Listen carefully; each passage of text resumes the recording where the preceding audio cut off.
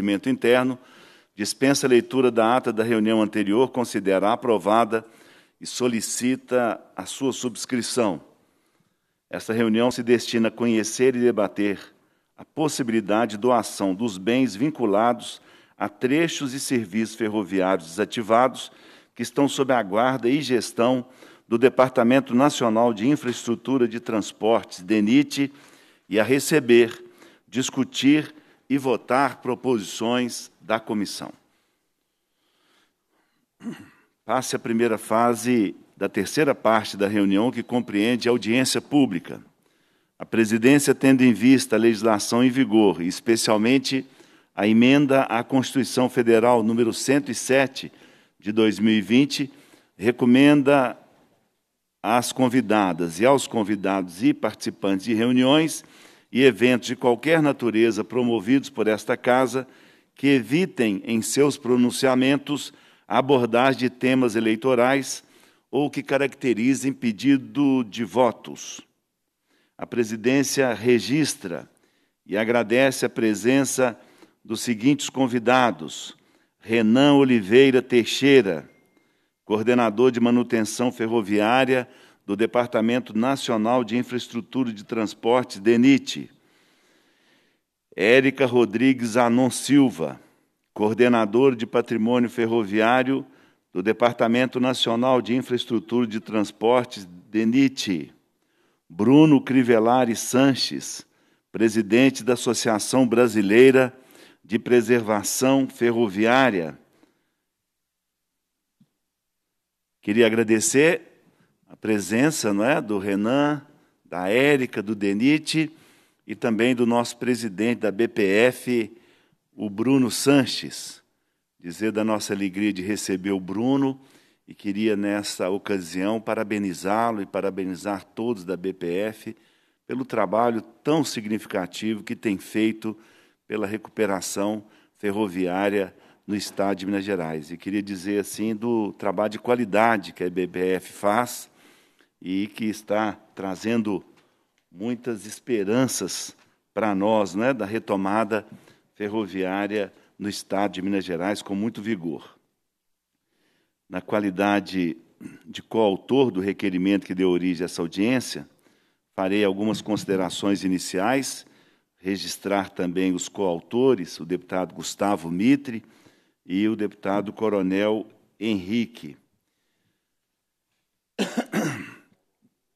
Eu queria é, agradecer o DENIT pela atenção que tem tido com esta comissão, é, todas as, as necessidades, as, as intervenções que a Comissão de Ferrovias da Assembleia Legislativa faz, é, especialmente a Érica, que está mais próximo de nós aqui, tem tido uma atenção é, e que nós queremos agradecer. Agradecer ao Renan também por essa disponibilidade de atender a Assembleia Legislativa do Estado de Minas Gerais. Queria dizer né, para o DENIT que a Assembleia está totalmente empenhada na retomada ferroviária do Estado de Minas Gerais. De alguma forma, é, tem uma abrangência Assembleia por conta dos seus 77 deputados espalhados pelo Estado de Minas Gerais, de norte a sul do Estado de Minas Gerais, e tendo possibilidade de conhecer as realidades de cada um, cada uma dessas regiões de Minas Gerais. Então, vem a Comissão de Ferrovias da Assembleia uma demanda muito grande de diversos trechos, de estações, de retirada de trilhos, de tudo que a Érica já conhece do Estado de Minas Gerais e que hoje tem uma atenção mais forte especialmente da Assembleia Legislativa. Mas queria dizer, essa semana tive uma, um encontro com o secretário de Infraestrutura, doutor Fernando Marcato. Doutor Fernando, ele, é, de alguma forma, estará investindo fortemente, especialmente nas short lines. Há uma demanda crescente no estado de Minas Gerais muito por conta do, de muitas vezes prejuízos nas nossas rodovias. Cargas que deveriam estar nas nossas ferrovias estão nas nossas rodovias.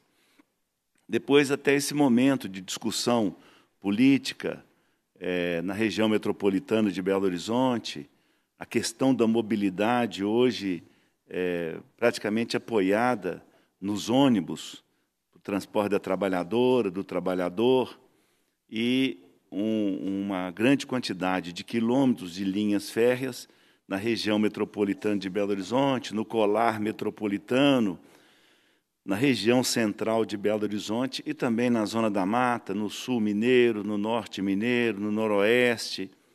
Então, o secretário Fernando Marcato, ele entra com muita força na questão da recuperação, né? o Estado, o Poder Executivo do Estado de Minas Gerais, entra nesse momento com muita força também, se juntando à Assembleia Legislativa, é, o trabalho que a Assembleia vem realizando, com seus consultores, com seus deputados, com as assessorias, especialmente da Comissão de Ferrovias, e com o marco legal, o novo marco legal, ou a estreia de um marco legal ferroviário para Minas Gerais. Temos é, tramitando, sob a presidência do deputado Carlos Pimenta e relatoria do deputado Gustavo Mitre, a PEC 43, que vai autorizar a operação de pequenos trechos por empresas, por associações. É, então, é um avanço na, na, legislação do Estado de Minas Gerais, como também a, a lei. Ricardo Coutinho fez até um caderno para mim, porque nós estamos, ainda bem, com diversas legislações tramitando, uma já aprovada pelo governador e outras estão tramitando na Assembleia Legislativa, tramitando por comissões, como a PEC 43, que está é, tramitando na comissão especial, já passou pela Comissão de Constituição e Justiça e recebeu o parecer favorável da Comissão de Constituição e Justiça. Mas nós temos a política estadual de transporte sobre trilhos, que está tramitando na Assembleia Legislativa, temos a legislação 2020, de 2020, essa vai ser inesquecível. Essa legislação vai conceder é, benefícios fiscais para as empresas é, que adquirirem bens ferroviários no estado de Minas Gerais. Então, é realmente uma mudança muito grande. Cria-se no estado de Minas Gerais um marco legal. Nesse momento, a Secretaria de Infraestrutura de Minas Gerais está liberando uma nota técnica de todos esses, da, da proposta de emenda à Constituição de Minas Gerais, das legislações, para que é, a Assembleia Legislativa tenha imediatamente é, aprovação. Em relação à PEC, aprovada a PEC, ela é promulgada pela própria Assembleia Legislativa, pelo presidente Agostinho Patrus Filho. Em relação às legislações, é, com a nota técnica da Secretaria de Infraestrutura, votado na Assembleia, irá à sanção do governador, mas já com essa chancela da, da nota técnica, né, dando acordo da comissão, ó, da Secretaria de Infraestrutura do Estado de Minas Gerais. Então, queria compartilhar com o Renan, com a Érica. Ontem tive a oportunidade de falar com o Bruno sobre essa questão, não é? É, e a Assembleia Legislativa está aberta para novas ideias, para que a gente tenha um marco legal é, robusto no Estado de Minas Gerais na questão ferroviária. Queria, nesse início, aí vamos ter uma oportunidade, depois de é, respostas né, do, do DENIT, eu queria, se o Renan tivesse de acordo, e a Érica também, vocês me ouviriam, depois ouviria o Bruno também, para que depois vocês tivessem um, uma noção assim da demanda existente. Né? Ontem nós tivemos uma preliminar com a Frente Ferroviária de Minas Gerais, né? que a gente considera assim, a BPF e outras associações formam a Frente Ferroviária em Minas Gerais, muito atuante e que, e que a gente tem é, todo carinho é, com essas manifestações se tiver de acordo, a Érica e o Renan, de nos ouvirem primeiro e depois responderem às nossas é, os nossos questionamentos e mesmo as nossas ideias. É, estamos de acordo assim? Eu queria começar, então, depois eu vou passar para o Bruno. É, nós temos uma, uma, uma questão que nos preocupa, e eu queria chamar a atenção, então, do DENIT para essa questão que nos preocupa e preocupa a todos, são os termos de cessão que o DENIT concede para as prefeituras.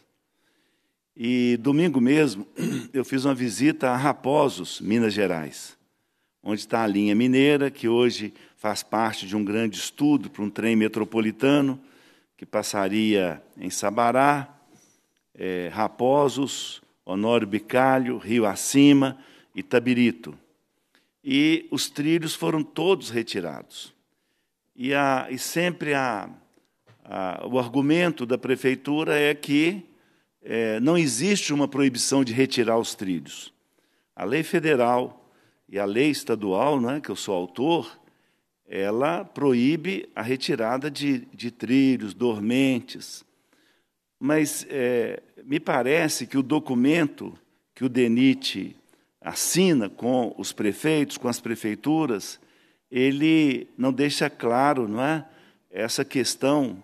É, me parece que ninguém pode também dizer que não conhece a lei, não é? Deveria obedecer à lei, né, os prefeitos. Mas é, uma, uma, essa é primeira questão que gostaríamos de colocar é deixar claro, não é, aquilo que é, está proibido por lei. Tá bom? Você quer cuidar da estação, quer cuidar do trecho, ótimo, não é? A gente quer que aconteça isso, mas Futuros investimentos do Estado. Eu estou aqui, por exemplo, com um trabalho espetacular feito pela Frente Ferroviária e pela consultoria da Assembleia Legislativa. Isso aqui, cadê a. Aqui estão todas as. É, tudo que está previsto, as janelas orçamentárias para as ferrovias no estado de Minas Gerais para o próximo ano. Então, nós temos é, todas essas todas essas iniciativas da Assembleia Legislativa que nós recebemos e que temos aqui também o verso, nós temos aqui outras, não é? Nós temos aqui, por exemplo, é, ações de recuperação de ferrovias, não é? São todas janelas orçamentárias. O que, que vai acontecer no Estado de Minas Gerais? No ano que vem, qualquer obra que você quiser fazer no Estado de Minas Gerais, você terá uma janela no orçamento e no próprio plano plurianual de ação governamental. Então, nós nos preparamos, a Assembleia se preparou, agradecer muito a consultoria da Assembleia Legislativa do Estado de Minas Gerais, a nossa frente ferroviária é, das associações que vieram à Assembleia trazer as sugestões. Então, é fundamental que tenhamos é, as nossas. As nossas expectativas são essas, né? Não dá para cada lugar que a gente chegar, vamos supor o trem metropolitano. E nós, nós chegamos num local e os trilhos já estão retirados, dormentes, o que dificulta, o que dificulta muito mais a nossa retomada ferroviária. Então, esse é o primeiro ponto, Renan e Érica, que eu gostaria de colocar, não é? A elaboração dessas parcerias com as prefeituras e até a gente gostaria de sugerir que as parcerias sejam feitas com o Estado. É, quando nós pegamos, por exemplo, essa, esse trecho, Belo Horizonte, Sabará, Raposos, é, Honório Bicalho, em Nova Lima, não é? Rio acima, extrapola municípios. Então, o Estado de Minas Gerais hoje tem uma superintendência ferroviária, inclusive uma superintendente oriunda do DENIT. É, nós, nós entendemos, então, e temos essa expectativa de que o convênio mais é, adequado, é? respeitando, é claro, a autonomia do DENIT, mas o, o convênio mais adequado seria com o Estado de Minas Gerais, não é? que extrapola as divisas de municípios. O segundo ponto que eu gostaria de tratar é a questão de troca de locomotivas. é, nós vemos muitas vezes a troca de locomotivas menores por locomotiva grande. E essas locomotivas menores, elas se perdem em, em linhas que não são linhas principais, ou são cortadas, e elas serviriam é, muito para pequenos trechos. Eu imagino que a BPF usaria muito né, nos trens turísticos. Então, nós é, estamos vendo no estado de Minas Gerais o desaparecimento das locomotivas menores, com esse pedido permanente das empresas de trocarem locomotivas menores e cortarem essas locomotivas por uma locomotiva grande, não é? Então, essas locomotivas em estado de funcionamento interessam para o Estado de Minas Gerais. Tivemos uma conversa com Ariston e eu pedi a ele, não sei se a Érica estava presente, o Renan, nós pedimos a ele que fizesse um, um, inventário, um catálogo para nós é? e para, para o Estado de Minas Gerais, daqueles bens do DENIT que nós podemos perfeitamente utilizar. Renan e Érica, nós temos 853 municípios, nós temos perto de 500 distritos no estado de Minas Gerais. No estado de Minas Gerais. Então, é, é eu vejo aqui, entrou na reunião o Coronel Henrique, o Coronel Henrique tem lutado pelo trem da Mantiqueira. É um trecho de Barbacena a Santos Dumont. É uma locomotiva menor, uma locomotiva menor que atenderia este, este trecho da Mantiqueira lá, que o Coronel Henrique tem lutado tanto, um trecho histórico, passa por Cabangu, onde está a fazenda de Santos Dumont, coisas muito, muito é, preciosas né, para a história de Minas Gerais e para aquela região. Então, o segundo ponto, Renan e Érica, é este, a questão das locomotivas menores, elas nos servem, não é? Elas nos servem como nos servem também os carros, é, nos servem é, todo tipo de material ferroviário para que as nossas associações trabalhem nessa questão. Então, esse é o segundo. O terceiro é insistir, não é, por conta, especialmente, até da manifestação do secretário de Estado de Infraestrutura, da volta da, quer dizer, um início de uma política de short lines em Minas Gerais, de que essas locomotivas são importantes, de que tem que é, nós precisamos até em um momento é, reunir com o secretário, porque a cessão de, de trechos de linha dentro de cidades, é, sem dúvida, com a retirada, asfaltamento, nós perdemos a possibilidade de termos as short lines. Né? nesse momento, há um, um grande trabalho por uma short line em Varginha, da cidade de Varginha, passando pelo Porto Seco, do, do sul de Minas, e as linhas não foram retiradas. Mas a ideia, antigamente, da Prefeitura de Varginha era fazer uma ciclovia onde estão os trilhos hoje. Se o DENIT tivesse cedido para, naquela altura, ainda bem que o DENIT não cedeu, se o DENIT tivesse cedido para a Prefeitura de Varginha, anos atrás, nós não teríamos a linha lá mais e não poderíamos é, fazer o escoamento do café da, da cooperativa Cocatrel, não é? é? talvez a segunda maior do mundo em Três Pontas, e que quer é, escoar a produção dela. Nós estamos falando em 100 mil containers na, no, no Porto Seco de Varginha. Então, é fundamental preservarmos e um pedido nosso, né? É um pedido, é claro, isso é da autonomia do DENIT, mas nós gostaríamos, e imagino que eu falo em nome aqui da Frente Ferroviária de Minas Gerais, não cedermos mais não é, é trechos dentro de cidades, ou mesmo fora de cidades, para asfaltamento, porque também, tanto a legislação federal quanto a estadual, preserva os leitos de ferrovias, justamente para a retomada ferroviária. Então, o terceiro, não foi? Agora o quarto. Nós conversamos isso com Ariston também. nós temos uma área do DENIT, que o DENIT cedeu para a Prefeitura de Belo Horizonte, que é justamente a área de manobra de trens, dos trens de passageiros que existia. Essa é uma luta grande. Está conosco aqui o Sérgio Mota, da Apito, está aqui já presencialmente. Sérgio está aqui. O Sérgio vem apitando isso um, um tempão, né? Apito vem apitando isso um tempão.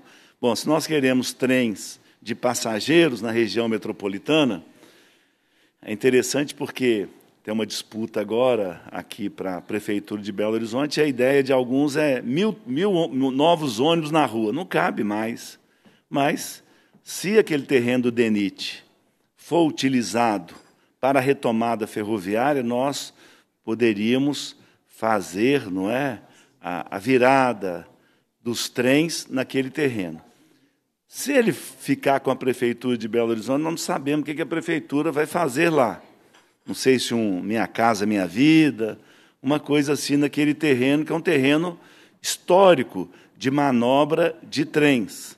Então, queria também, Renan e Érica, chamar atenção para essa questão. É, é fundamental a retomada do terreno pelo DENIT para que na retomada dos trens de passageiros na região metropolitana de Belo Horizonte, a manobra dos trens é, possa ser feita ali naquele terreno do DENIT. Quarto, né? É, hoje, é, uma palavra assim do Parlamento de Minas Gerais mesmo. Eu estou aqui de alguma forma compartilhando o sentimento do presidente Agostinho Patrus das minhas colegas deputadas e dos meus colegas. É unanimidade.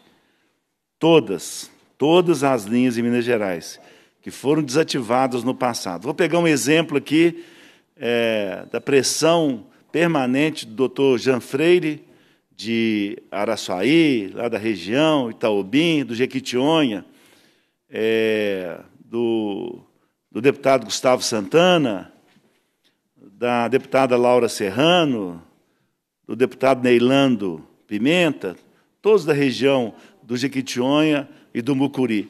Eles querem a Bahia Minas de volta. Então, tudo que pertence à Bahia Minas, ou pertence aos outros trechos ferroviários, foram abandonados, devolvidos, tem interesse, e mesmo que não tenha interesse das concessionárias, tem interesse para Minas Gerais. Tem interesse para Minas Gerais. Né? Como eu disse aqui, nós estamos aqui com, com todas as janelas abertas para o orçamento do ano que vem, termos investimento nas ferrovias no estado de Minas Gerais.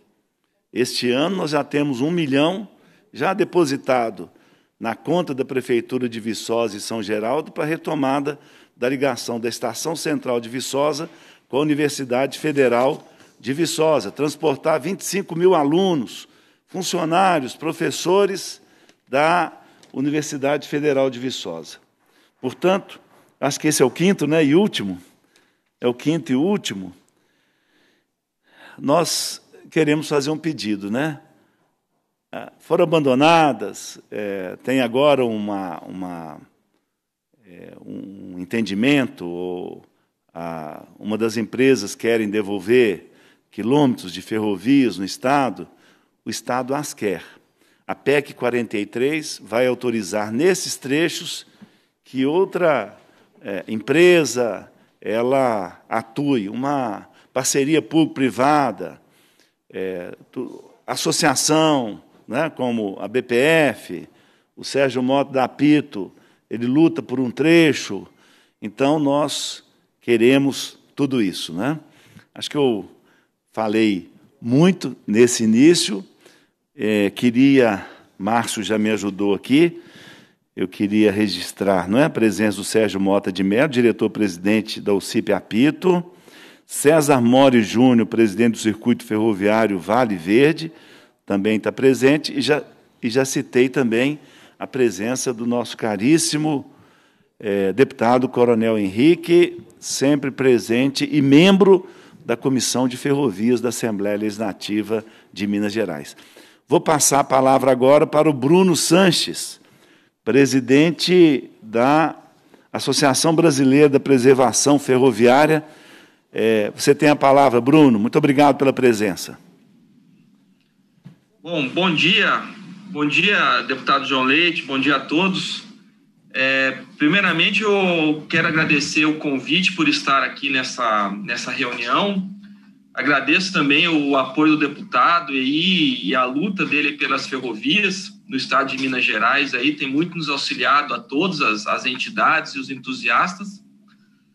Eu queria agradecer também ao DENIT. O DENIT ele é um dos maiores parceiros que a BPF possui no governo federal, sempre nos atendendo aos nossos pedidos, muito solícito, e muito do que a gente fez não teria sido possível sem esse apoio do DENIT. Então, é um, é um apoio fundamental e é um trabalho magnífico que eles fazem junto conosco. É, essa reunião é muito importante porque o deputado tocou em pontos delicados, essa questão da, das ferrovias né, que estão sendo devolvidas, abandonadas. Gente, eu sei que existem diversos ritos aí, questões burocráticas, mas essa questão da preservação dos trilhos é fundamental. Né? Nós tivemos aqui recente também o caso de São Sebastião do Rio Verde, que foi um projeto também que só foi possível porque os trilhos ainda estão lá. Então, isso que tornou viável, se não tivesse os trilhos, teria sido muito difícil esse projeto se concretizar.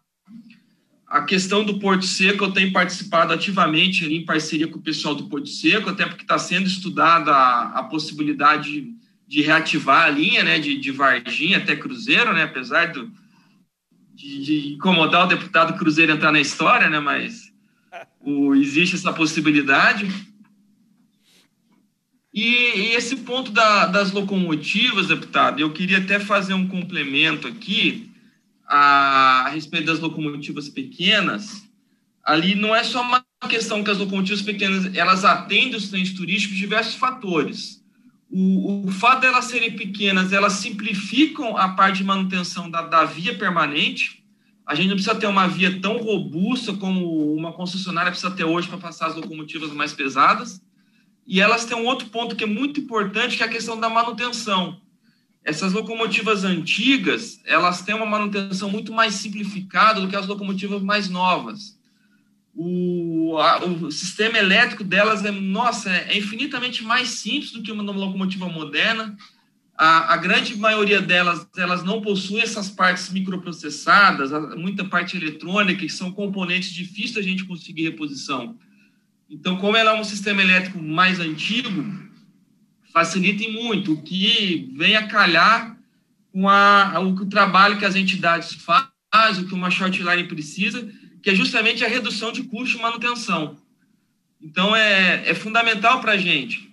E nós sabemos de diversas locomotivas que estão por aí, que as concessionárias já não estão mais usando, e elas estão nesse trâmite né, de substituição de frota, e seria muito importante a gente conseguir abrir um, um canal, talvez atra através da frente parlamentar, em parceria com o DENIT, abrir um canal para a gente poder mostrar as locomotivas que nós temos interesse, que são interessantes para preservação, para short lines, e ver se a gente consegue tirar elas da, do destino, que a grande maioria está tendo destino da sucateamento, né? Que como ocorre a substituição de frota, né? E ela, elas voltam para a concessionária, a concessionária não tem mais uso para ela, a concessionária acaba sucateando. E talvez a gente abrisse a possibilidade de nem que fosse uma preferência de compra mesmo, para as entidades poderem comprar e assim a gente evitar esse sucateamento. Isso é algo muito importante para nós. E eu, eu vou dar um exemplo aqui, né? A BPF, nos últimos dois, três anos, a gente conseguiu fazer a aquisição de duas locomotivas, que na verdade não são pequenas, né? mas são duas locomotivas C30, e e mudou a, a, nossa vida aqui. Por quê? Porque são locomotivas que a, são locomotivas comuns hoje no Brasil. Então, assim, não são um dinossauro, né? Qualquer concessionária conhece e tem, tem familiaridade com a locomotiva. Então, ela, e elas estão em condições operacionais. É uma delas, a, a 7202, hoje é uma locomotiva que está homologada a operar em três ferrovias. Né? Ela opera na MRS, na Rumo Logística e na CPTM, na Grande São Paulo, ela possui os equipamentos eletrônicos para operar nessas três ferrovias. E o que, que isso trouxe para nós? Ela, ela possibilitou hoje, quando a gente tem um material rodante num determinado ponto da malha, que sempre é um desafio, né? A gente pegar um material rodante ali que o DENIT mesmo às vezes nos cede e a gente transportar ele para algum local nosso, e com essas locomotivas a gente derrubou uma das barreiras que qual que era? A, concessionária no momento não tem tração disponível para fazer esse transporte. Hoje eu já levanto a mão e falo, opa, mas eu tenho tração disponível, eu posso fazer o transporte. E isso a gente conquistou esse ano, agora deve ter um mês e pouco agora, nós trouxemos para Cruzeiro três locomotivas elétricas, esses são locomotivas que são peça de museu, mas nós trouxemos com tração própria, através da malha da CPTM lá na Grande São Paulo e da malha da MRS, então foi uma grande vitória, e a gente poder fazer esse transporte com tração própria, claro, teve a participação da concessionária, a concessionária acompanhou todo o processo, ela fez uma supervisão técnica, ela disponibilizou o pessoal para acompanhar, mas simplificou muito o processo, porque eu não precisei falar para a concessionária, olha, você vai ter que tirar uma locomotiva da sua tração, uma locomotiva que está produzindo, para me fazer um apoio aqui. Eu fiz com tração própria. Então, essa disponibilização de locomotivas para as entidades, ela traz essas vitórias assim em diversas frentes, entendeu? A, a gente vai quebrando barreiras. Inclusive, eu, eu, já, eu, tô eu já disponibilizei também para outras entidades utilizarem. Infelizmente, a gente não conseguiu concretizar isso devido a algumas outras dificuldades. Então, é um, é um ponto realmente muito importante, muito delicado da gente ser tratado essa questão da gente conseguir disponibilizar tração para as entidades. E aí, depois, cabe às entidades né, fazer o trabalho ali, deixar essa tração em, condições operacionais, né, e atendendo às necessidades técnicas da, das concessionárias, mas é um, é um ponto que realmente a gente precisa tratar. Inclusive nesse, nesse assunto que é o tema hoje da reunião, que é nós conseguimos disponibilizar é, esse material rodante, essas coisas que o DENIT hoje tem disponível, a gente já está preparado também para fazer o transporte desse material, né? Que é um, é um desafio antigo, né? O pessoal do DENIT pode falar com propriedade sobre isso, né? Que muitas vezes ocorre a solicitação de material, ocorre a disponibilização de material, mas não ocorre a retirada por inúmeras dificuldades. Né? E, e, a BPF ela vem já há algum tempo se estruturando nisso, né, principalmente nos materiais de bitola larga, que é um, é um desafio muito grande o transporte rodoviário devido ao, ao, tamanho. Então, eu fico muito feliz de poder estar aqui hoje, poder estar participando disso, e espero também ter contribuído e estamos à disposição aí no que a gente puder ajudar, tanto com suporte técnico, até mesmo questão de tração, que a gente tiver que puder ser usado também, a gente poder, está aberto a, a BPF aí, para a gente dar o apoio aí, para a gente concretizar esses projetos. Tá? Muito obrigado. Muito obrigado, Bruno.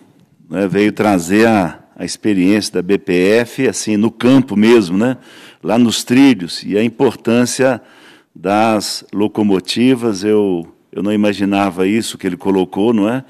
Essas locomotivas são de mais fácil utilização, né? não tem a, as, as modernidades né, é, tecnológicas das, das locomotivas mais modernas, mas elas, desde 1800 e tanto, elas vieram trabalhando no país, né, levando passageiros, carga, e então para o nosso Renan e a Érica já ir anotando né, as, as expectativas que nós temos, depois queria que o Bruno pudesse dizer para nós, né?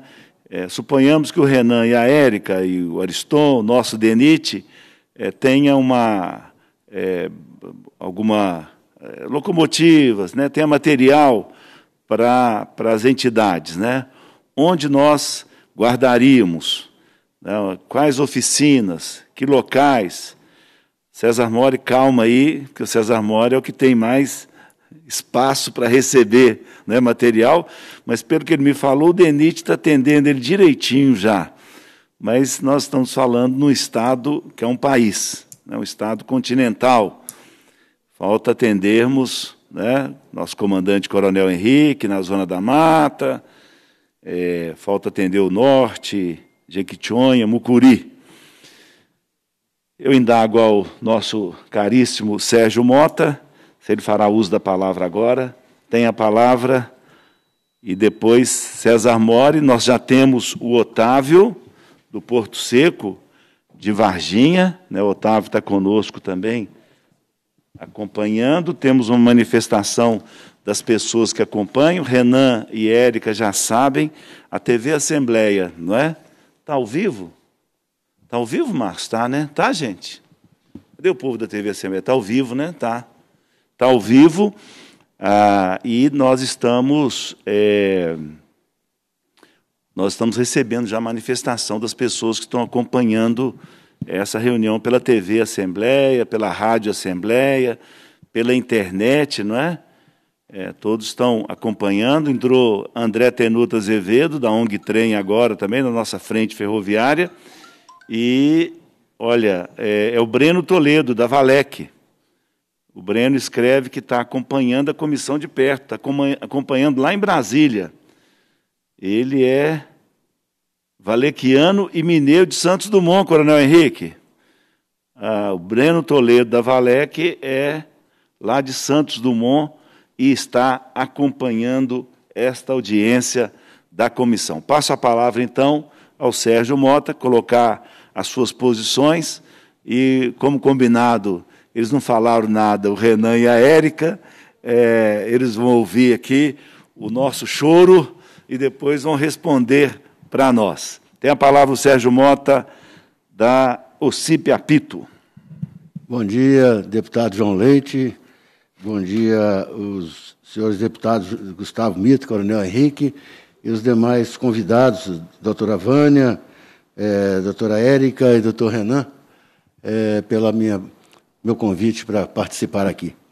É, ontem, assistindo a sua, a sua reunião, é, eu estava fora e, na hora que eu pretendia dar uma parte, fazer minha participação, eu fiquei sem internet. Aí, quando, quando a internet voltou, já tinha terminado. Mas o que eu queria dizer é o seguinte: é, a gente tem é, é aquele projeto que é um projeto de turismo, espetacular para Belo Horizonte em termos de turismo, né?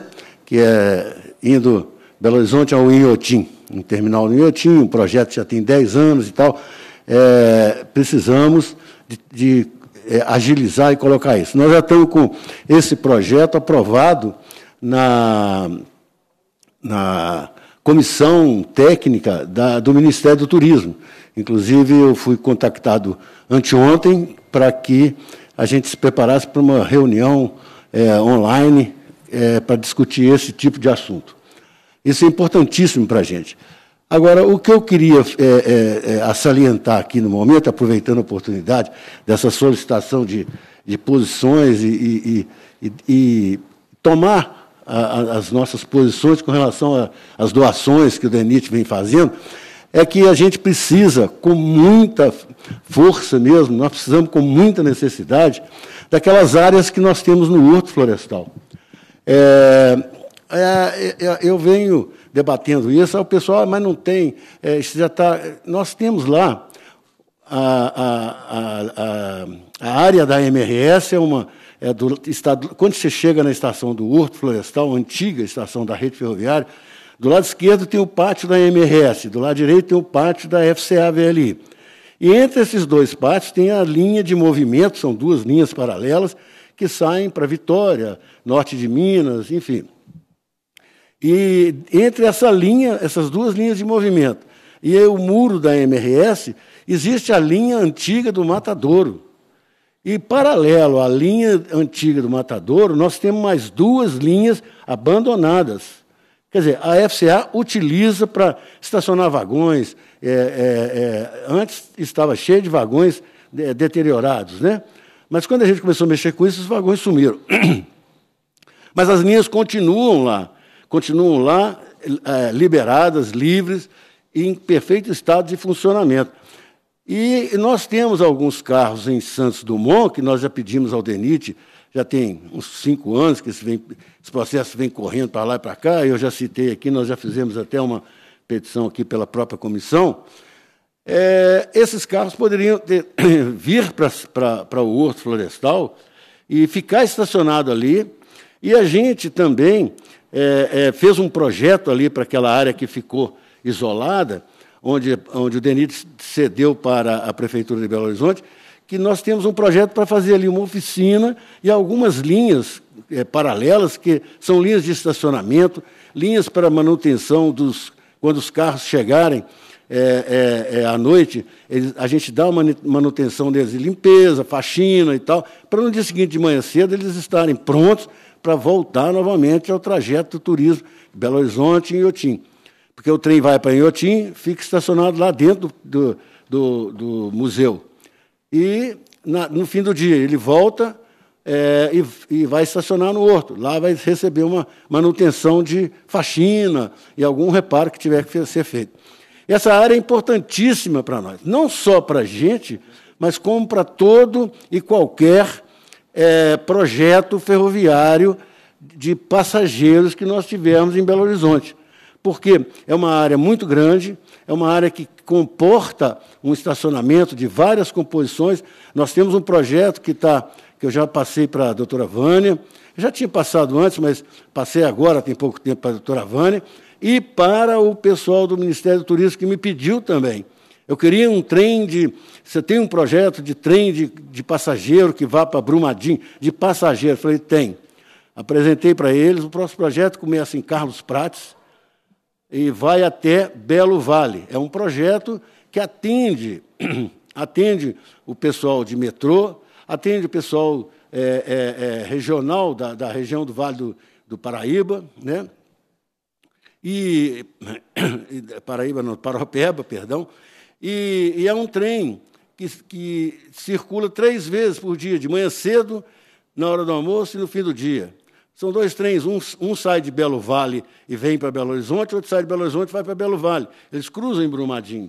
Meio-dia eles fazem a viagem ao, ao inverso, retorno para os mesmos locais. E à noite eles voltam de novo. Então, quer dizer, é um projeto que vai atender a região e, e é viável, totalmente viável, como também é viável o trem de turismo. Né? E eles vão rodar em horários, é, dois horários, de manhã cedo e de tarde, no fim do dia, nos mesmos horários que vai rodar o trem de turismo. Então, existe a, a possibilidade, a compatibilidade. Só o horário de meio-dia que teria que ser combinado e acertado. Isso tudo tem que ser acertado. É claro, tem que sentar com, com a concessionária para fechar isso. É, a gente tem carros de passageiro, os que estão em Santos Dumont, que atendem, terão que ser reformados, lógico, mas tudo tem que ter um trabalho, porque os carros estão abandonados há mais de 20 anos.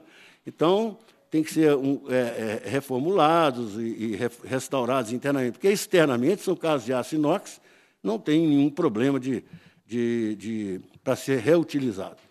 E, e, e, a área que eu, do Horto Florestal, já, eu já fiz uma, um pedido, já foi discutido, e lá em Brasília, na mesa do Ministério do Turismo, o doutor Marcelo e o doutor Ariston, Marcelo Almeida Chagas e o doutor Ariston, é, na presença do ministro e de outros, outros componentes da mesa, disseram que seria fácil de fazer ah, o retorno disso, porque foi em setembro e eles tinham assinado isso com a prefeitura em junho. Então, é, a coisa ficou bem próxima, então era fácil de retornar. Mas, de repente, houve um problema, não fizeram, mas a gente tem que insistir, porque essa área é importantíssima para qualquer projeto de trem de passageiro que for feito em Belo Horizonte. E esse, é, é, com relação a material também, nós já fizemos uma solicitação à MRS de quatro locomotivas para atender esses nossos projetos. E estive na oficina do Horto e verifiquei que lá nós temos locomotivas que podem ser doadas para a gente. Mas a resposta da MRS, na época, foi: não temos locomotiva. Então, e a gente vê o pátio cheio de locomotiva. Então, eu, eu gostaria de realmente é, é, parabenizar vocês, é, João Leite, porque esse é realmente um problema que a gente tem. É, o DENIT está realmente, ou esteve realmente, entregando tudo para qualquer um. Agora, com essa nossa posição dentro da comissão, acho que nós vamos realmente preservar o que a gente tem. E material mineiro não pode sair de Minas, tem que ficar em Minas. Então, eu defendo essa, essa, essa posição também, porque a gente já teve isso no passado, saindo daqui e indo para outros estados, e a gente hoje precisa, nós não temos. Então, era isso que eu queria solicitar e dizer para vocês que estamos com, com, com apoio total e força total para esse projeto, esse, todos esses projetos serem é, é, é, implantados. Muito obrigado, João. Eu que agradeço. Vamos ouvir o César Mori Júnior, presidente do Circuito Ferroviário Vale Verde. César tem a palavra. Bom dia a todos. Maravilha de reunião, muito bom ouvir o Bruno. Eu concordo praticamente com tudo com o que ele, que ele disse. Eu quero cumprimentar primeiro o meu grande amigo deputado João Leite, que é o grande maestro dessa composição ferroviária, essa sinfonia que em breve todos nós vamos estar ouvindo colocando o estado de Minas de novo nos trilhos. Dois metros de altura. eu, eu fico muito feliz quando eu percebo que as coisas começam a tomar um novo rumo no estado de Minas Gerais. Porque Minas Gerais é um estado que sempre andou nos trilhos, sempre. É um estado que prima pela, pela, pela sua quantidade de, de trilhos, né? A ferrovia ela tem uma história muito grande com o estado de Minas Gerais. Agora, eu, particularmente, tenho uma, uma negociação bem, bem próxima da, da VLI, FCA, e do DENIT, que tem sido, como o Bruno, Bruno mesmo é, é, é, é, externou, um grande parceiro nosso aqui também. E eu acho isso muito importante. É, essa, desde o início, o DENIT sempre se mostrou parceiro mas essa gestão do DENIT tem sido realmente muito mais próxima, tem resolvido muitas coisas e a própria Ferrovia Centro-Atlântica tem nos dado muita atenção. E nós temos notícia agora que eles colocaram eles colocaram uma pessoa exclusivamente para poder tratar desses assuntos. E parece que andou andaram tendo uma mudança na gestão. E, isso para nós é muito importante. Nós estamos aguardando atenciosos é, é, o contato da, da, da, pessoa que assumiu a, a, o controle disso, para que a gente possa dar sequência nas negociações. Mas eu mandei para o deputado uma listagem de tudo que a gente já recebeu, está recebendo, vai receber. São coisas que estão sendo negociadas, que está em curso. Mas, assim, a gente está muito satisfeito e eu só espero que, que a, a Minas Gerais seja, seja beneficiada e o país todo seja recolocado nos trilhos, porque não é só em Minas Gerais tem muito trilho jogado, tem muito patrimônio jogado, mas eu quero ressaltar aqui um cuidado, uma atenção especial. É, nosso trem ele vai sair de Lavras e vai até Três Corações. Acontece que a estação de Três Corações era para ter vindo desde o início para o circuito ferroviário, que era o ponto é, de chegada e de partida de lá para cá. É a segunda estação, né? É, o, é o, o, o, as duas pontas do eixo. E acontece que essa estação ela foi, foi feito um convênio entre a ferrovia e a estação, no sentido da, estação, da, da prefeitura, é, é, convênio da ferrovia com a prefeitura de Três Corações, no, no, no, no sentido de que a prefeitura ela é, reformasse a estação e nos desse espaço lá, deixasse espaço para a gente trabalhar o trem, etc, etc. Só que a estação ela foi completamente abandonada. Eles estão demolindo a estação, tá em frangalhos. E a estação era simplesmente só entrar e pintar. Não tinha nada para fazer. Hoje ela está sendo demolida. Demolida. Eu não sei o que está acontecendo, eu não sei porquê, mas eu acho isso um descaso muito grande, isso é até um crime.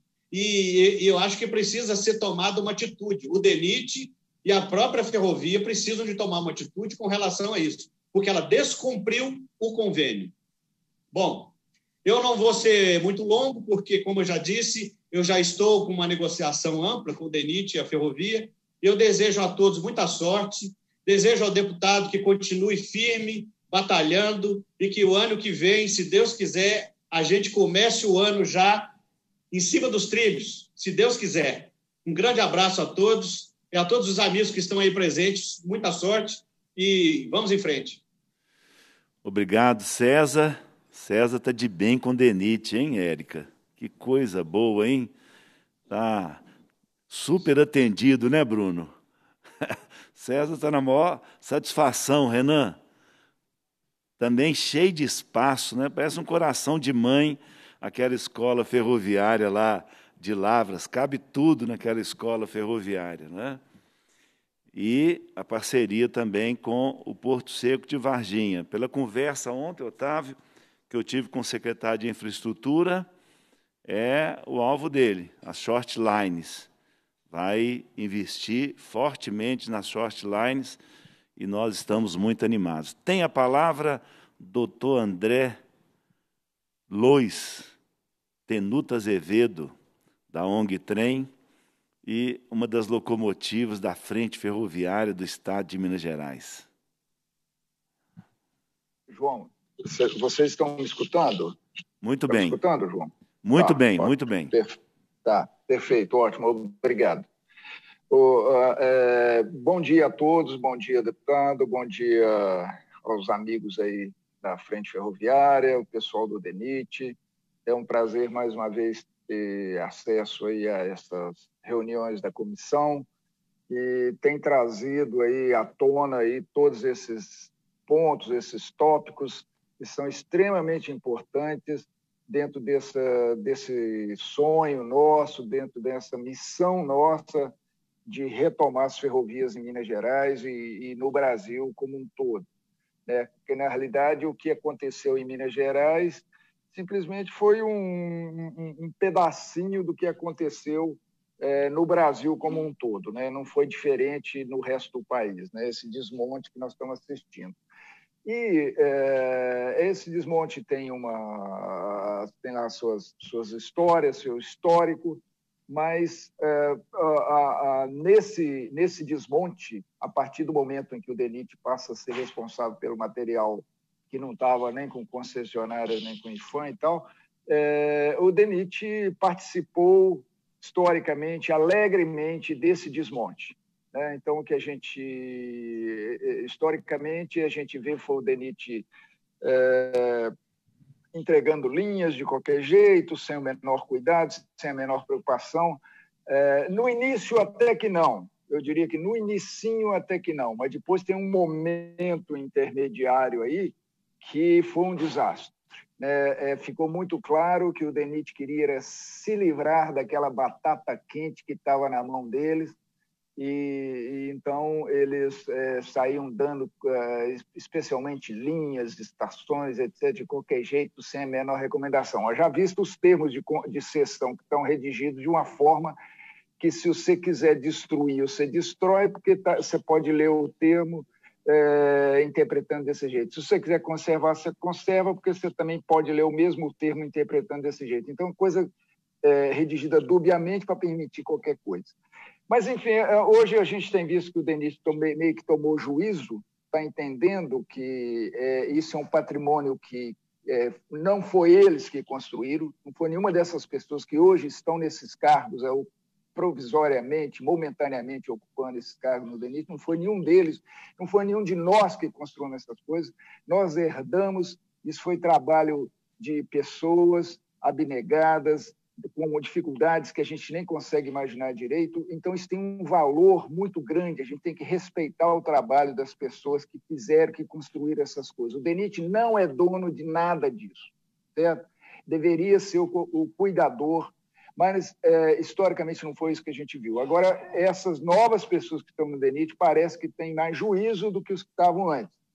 E, então, a gente vê com muita, é, muita alegria essa possibilidade da gente estar discutindo novos rumos junto com esse departamento, é, em função da é, obrigação por lei deles de estarem envolvidas na, na, na conservação desse material, desse patrimônio. Agora, é, então, essas, esses pontos que o João levantou, eu não vou retomá-los aqui novamente, eles são de extrema importância.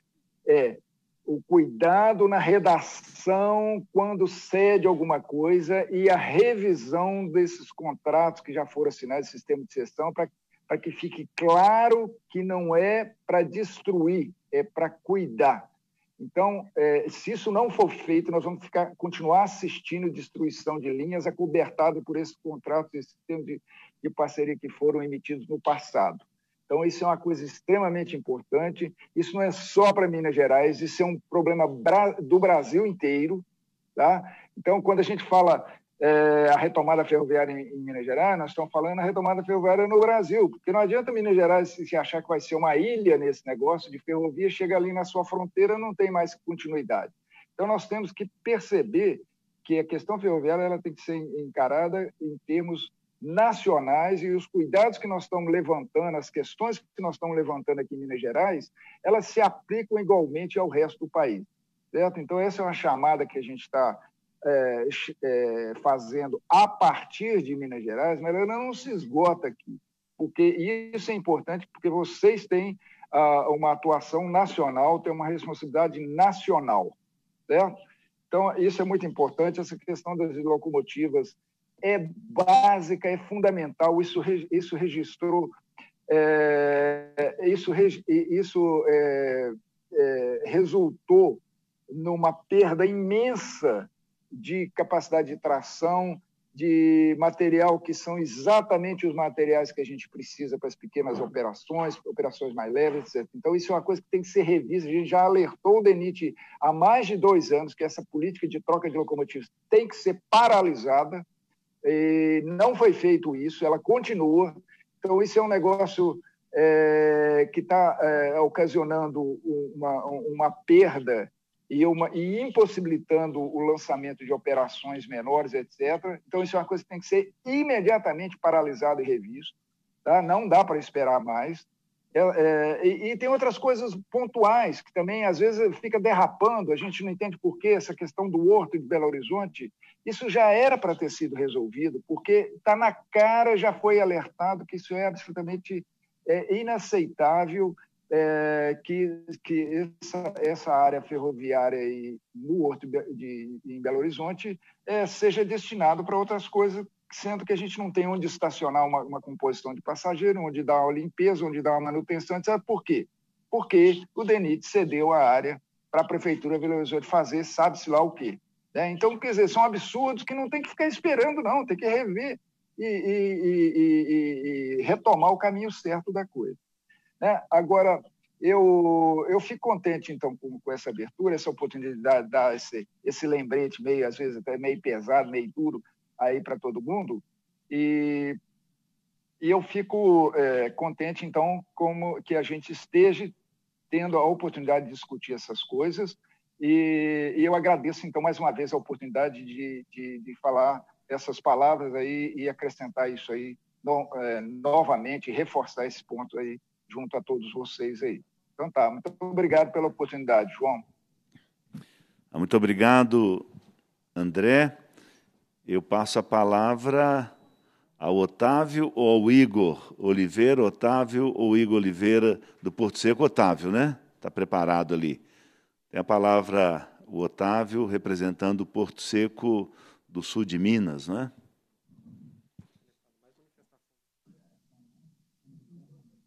Bom dia a todos. Bom dia. Cumprimento aí o ilustríssimo senhor deputado João Leite, a gente teve o prazer de fazer uma reunião aí semana passada, né, para discutir algumas coisas do PPAG. E graças a Deus a gente está no, no, movimento grande aí para tentar retomar né, essa, essa ferrovia aqui em Varginha e voltar a transportar cargos, passageiros, né, é, impulsionar o turismo aqui na região também. E a gente tem feito aí um estreitamento de e parcerias junto aí com o Bruno, lá da, da BPF, o César Mori, né? Então, todo mundo aí empenhado para conseguir fazer é, a ferrovia dar certo. É, a gente já está fazendo alguns projetos aqui da, da linha entre Varginha e Cruzeiro para tentar já buscar quais são todos os recursos técnicos necessários para poder reformar a ferrovia, né? Em paralelo, a gente está trabalhando com o pessoal da VLI a questão de reformar o trecho aqui até Lavras, ou tentar é, conseguir aquela é, reverter a multa, né, que eles têm que passar da, da ferrovia. E a gente conta aí com o apoio né, de todos os, os integrantes aí da, da Assembleia que podem, que estão envolvidos aí nesse projeto e buscando também essa, esse apoio institucional, né, de, de todas as prefeituras, de todos os órgãos para conseguir as licenças necessárias para o projeto seguir. Beleza? No mais, é, eu deixo a palavra para o Igor, não sei se ele quer manifestar alguma coisa, e estou à disposição aí para tirar qualquer dúvida. Muito bem. É, Igor Oliveira tem a palavra.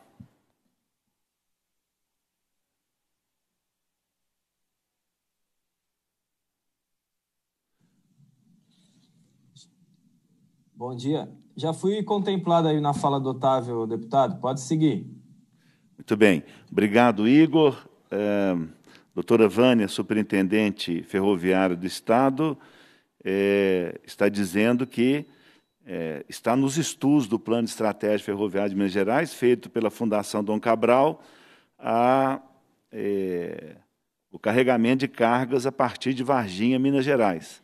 Ontem, na conversa com o secretário Fernando Marcato, ele falou também que é prioridade a questão das short lines, né, que eu ouvi primeiro da nossa frente ferroviária, muitos anos atrás, eles falando sobre as short lines, foi o que mudou nos Estados Unidos, né? Foram as short lines, aprendi isso aqui nesta comissão. Então, é, agradecer a doutora Vânia, está acompanhando também. Doutora Érica pediu licença, ela tem é, uma outra reunião, não, não pôde ficar mais tempo, mas nós temos o Renan Teixeira. Renan Teixeira, deixa eu dar todas as. Renan Teixeira é Renan Oliveira Teixeira, coordenador de manutenção ferroviária do Departamento Nacional de Infraestrutura de Transportes, tem a palavra.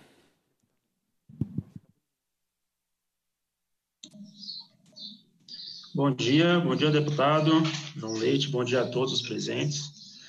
Uh, agradeço a oportunidade do DENIT estar aqui presente nessa audiência. Tá? Uh, além de coordenador de manutenção ferroviária, eu estou como substituto do coordenador geral, Ariston, uh, então estou representando. Uh, além de cumprimentar a todos e agradecer a oportunidade de estar aqui, é, parabenizo a iniciativa tá, de Minas Gerais como um todo, da Assembleia, a, da, da, Secretaria de Transportes do Estado, pelo fortalecimento tá, da legislação em relação a, a, ao setor ferroviário, em relação à, preservação do patrimônio. Tá? E é importantíssimo, né, principalmente o PEF, que veio para ajudar e organizar toda essa, todos esses projetos existentes que estavam um pouco espalhados aí no no Estado e acabou fortalecendo também a gestão do DENIT em relação a esse patrimônio. Tá? Então, além da iniciativa do, do Estado ajudar próprio, o próprio setor ferroviário de Minas Gerais, acabou nos auxiliando também nessa destinação de bens.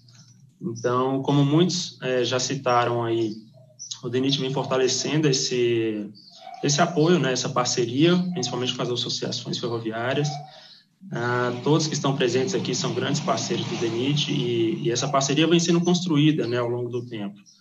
É, já tivemos vários gestores, né, passamos por, por, por, vários momentos aqui no DENIT, então foi uma construção essa parceria né, até chegar onde nós estamos hoje. Né?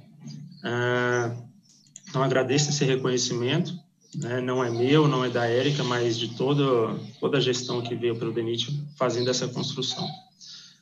É, eu vou tentar passar os pontos aqui colocados, né, por todos. São muitos pontos, muitas, muitos projetos, né? Vou tentar falar um pouquinho de cada um aqui, no que eu pude anotar, tá? Uh, alguns, é claro, assim, não, não depende só do DENIT, né? Eu estou aqui como representante do DENIT, mas tem questões que fogem à nossa alçada, que envolvem o próprio Ministério, são políticas de governo que devem ser implantadas, tem questões também é, é, relacionadas aos, à operação ferroviária, que já é a atribuição da NTT, Agência Nacional de Transportes Terrestres. Então, vou tentar aqui, no que cabe ao DENIT, é, expor as nossas considerações e, e, o que a gente puder evoluir de parceria para poder atendê-los, a gente vai construindo. A, a primeira preocupação citada pelo senhor João Leite, deputado João Leite, questão dos termos de cessão às prefeituras. Né? Já tem uma longa data que o DENIT formaliza esses termos com as prefeituras e até associações para a cessão de imóveis e de trechos que foram devolvidos. E uma preocupação do DENIT sempre foi realmente a preservação. A gente sabe que isso não ocorreu em todos os casos, infelizmente. É, tiveram prefeituras, não, não, tem como a gente é, é, esconder ou negar isso. Né? Tiveram prefeituras que realmente arrancaram os trilhos, des, é, é, desmantelaram a linha, e é uma perda enorme. A gente concorda com isso, o DENIT concorda que é uma perda, de forma alguma o DENIT teve a intenção de autorizar ah, o desmantelamento dessas linhas, retirada de trilhos. É, tanto é que quando a gente vai fazer a cessão de bens, nós temos uma lista de, de documentos que a gente pede, é, inclusive um deles é o projeto de uso daquele bem. Né? Então, o, o, os que estão presentes aqui conhecem né, essa lista de, de, de, documentos que a gente pede e ali está contemplado esse projeto de uso. Então, a gente sempre analisa, sempre tem que ter uma finalidade social, uh, sempre tem que atender a população e, infelizmente, em alguns casos, isso não foi colocado em prática. Tá? Uh, a gente tenta sempre, uh, nas cláusulas, é um termo padrão que foi aprovado pela nossa procuradoria, tá? E ao nosso ver, naquele momento, é, a cláusula ela deixava claro, as cláusulas do termo deixavam claro que era para preservação do bem, era para ser utilizado em projetos apresentados, mas sempre preservando os materiais ali existentes. Claro que cabe uma revisão. Se isso não foi colocado em prática, cabe a nós revisar é, e principalmente fiscalizar, tá? Esse é um outro ponto que eu ia chegar,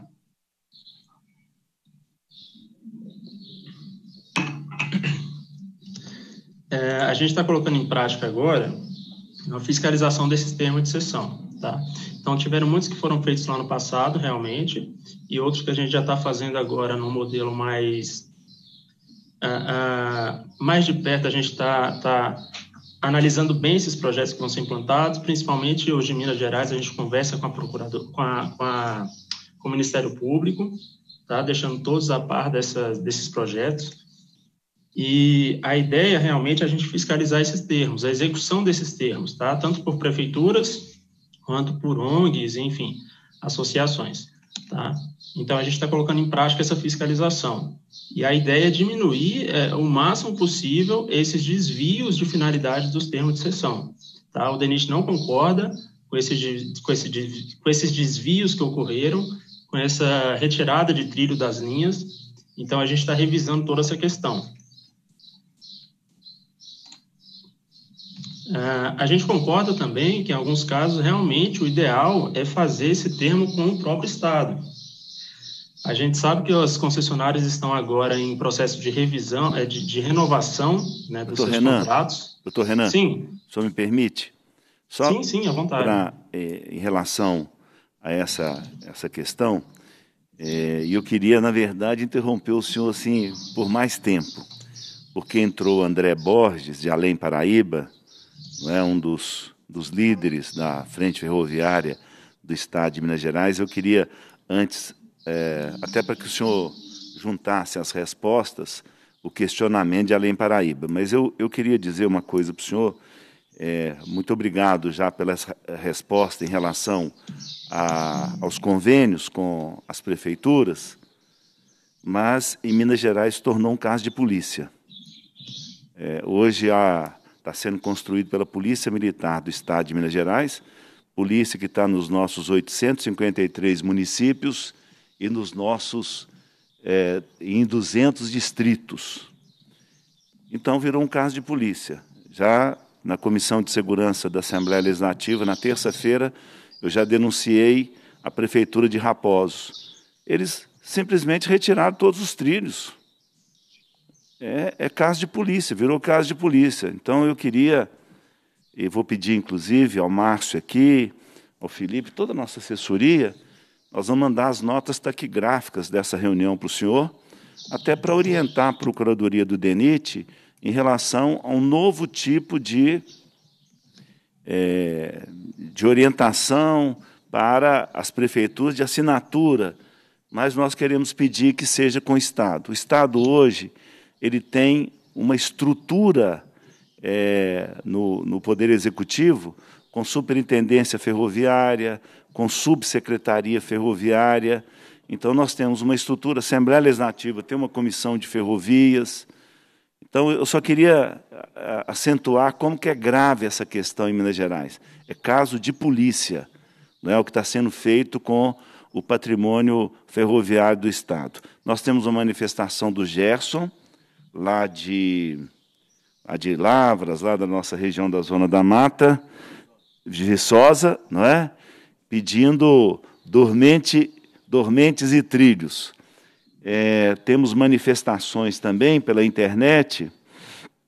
É, o Gerson também está precisando também da sessão de uso de fácil de domínio para recolocação dos trilhos entre as cidades de Ponte Nova e Dom Silvério, passando por Rio Doce. Então, o Gerson também falando que está precisando de trilhos e dormentes. Ok, o André também se manifestou, mas ele vai falar agora. É, uhum. Ok, é, são essas as manifestações. Eu queria, com a sua licença, doutor Renan, nós queremos abusar muito do senhor nessa manhã, é uma oportunidade importante para nós. Eu queria passar a palavra para o André Borges, que diretor do Museu de Ciências Naturais de Além Paraíba, não é? E grande é, grande locomotiva das ferrovias do Estado de Minas Gerais, da nossa frente ferroviária. Tem a palavra, André. Obrigado, doutor Renan, pela paciência aí conosco. Bom, obrigado, deputado, pela oportunidade de estar presente nessa reunião, né, assim como eu e como o Zé Carlos, que está à frente do projeto da Locomotiva 51 aqui em Além Paraíba. Assim como os demais, eu quero agradecer a parceria com o DENIT, que ela é muito importante para o trabalho que a gente desenvolve aqui em Além Paraíba. Renan e doutora Érica, é muito importante porque vocês já fizeram a sessão de espaços, inclusive que nós utilizamos, espaços culturais. Então, a gente entende que, além de estar preservando esses espaços, deputado, a gente também está proporcionando acesso à cultura é, e cuidando dessas estações para que elas não acabem. Não é verdade? Quando a gente está dentro desses espaços, a gente consegue tirar uma goteira, a gente consegue preservar e não deixar que essas estações é, mais do que centenárias acabem. No nosso caso aqui, uma estação que está fazendo ano que vem 150 anos. Então, assim, é muito importante essa parceria. Mas, ao mesmo tempo, é, é importante que o DENIT olhe é, as demandas que estão sendo apresentadas, principalmente na área de cessão de material, que às vezes está aqui dentro de casa. Eu vou dar um exemplo nosso, está dentro da nossa casa aqui e a gente não consegue andar com essas sessões. Algumas vezes por não identificação, não reconhecimento desse material e outras por, às vezes, agarrar mesmo.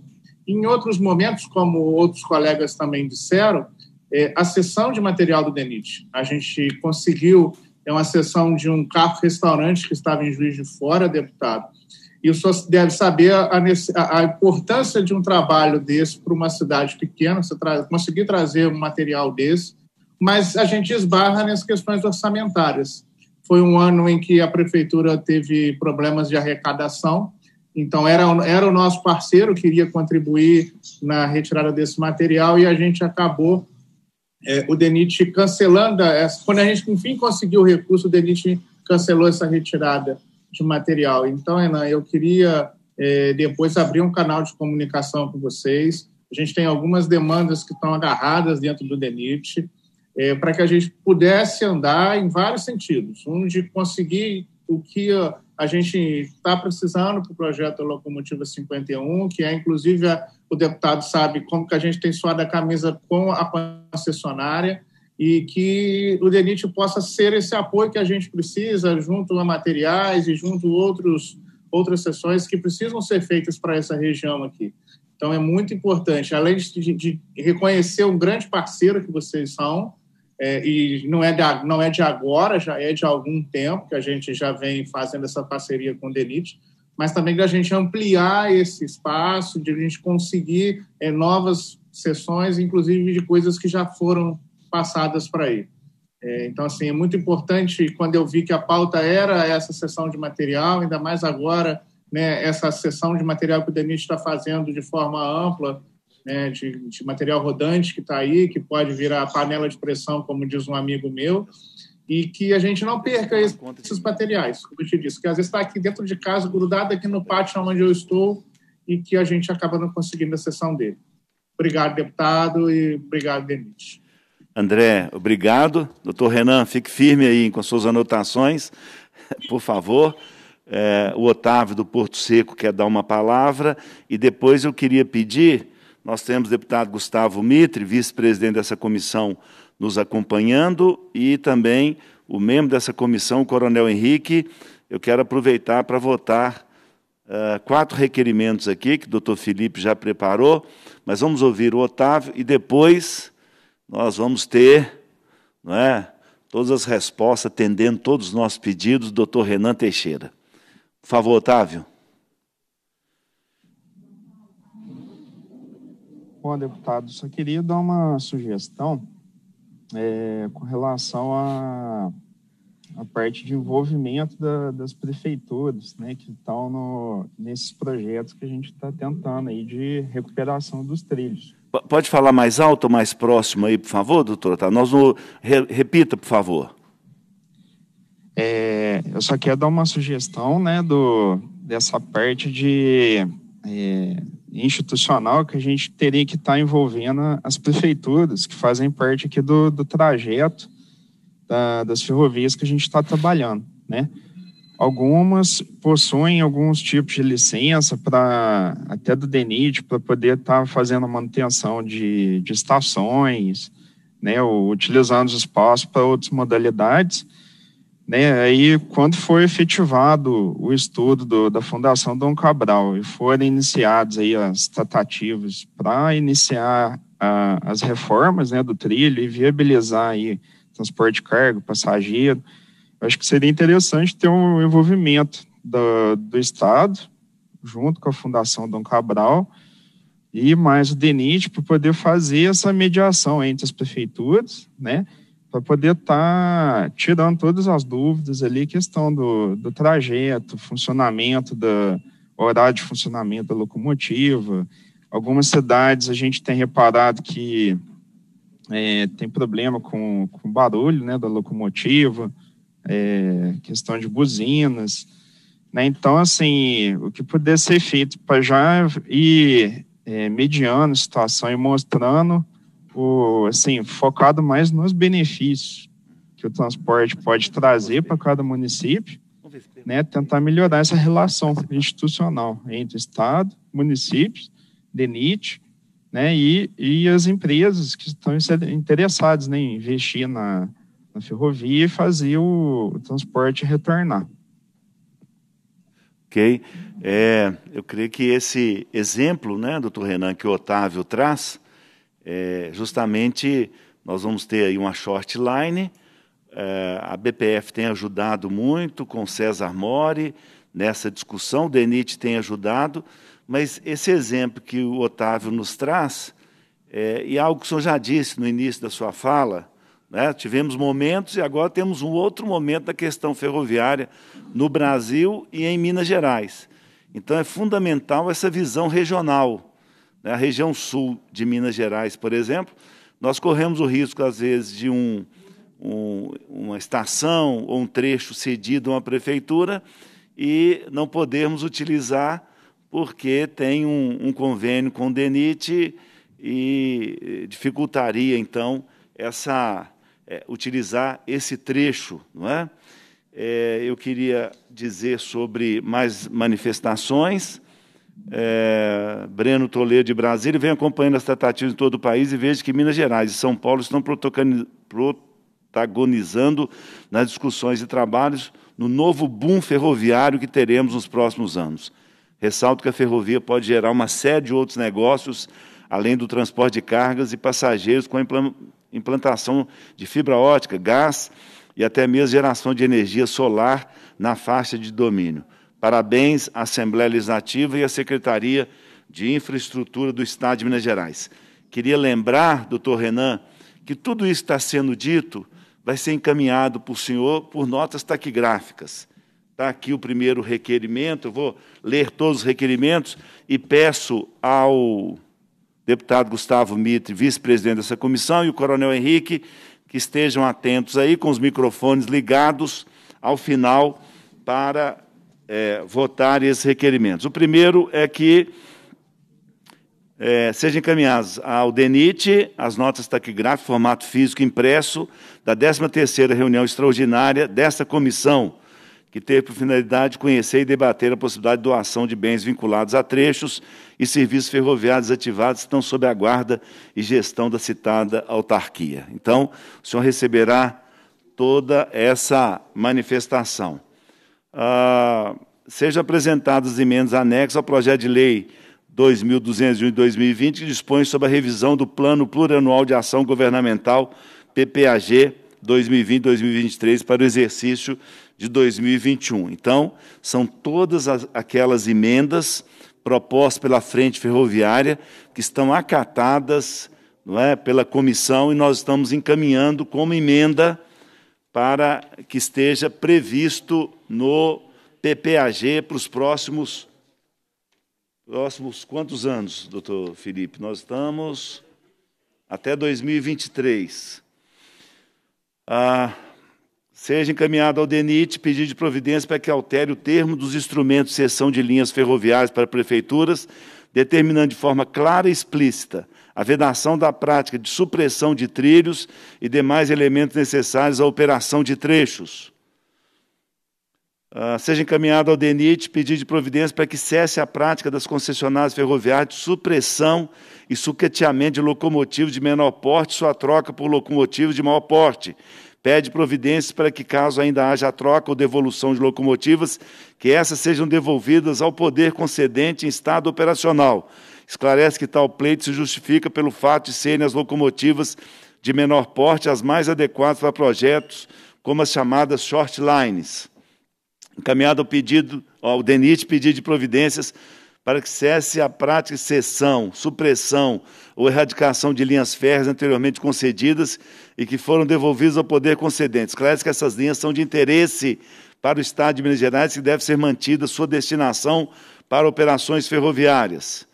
Seja encaminhado ao Departamento Nacional de Infraestrutura e Transporte DENIT pedido de providência para que cesse a prática de cessão de trechos de linhas ferroviárias prefeituras municipais com vista a evitar a supressão de trilhos e demais estruturas ferroviárias.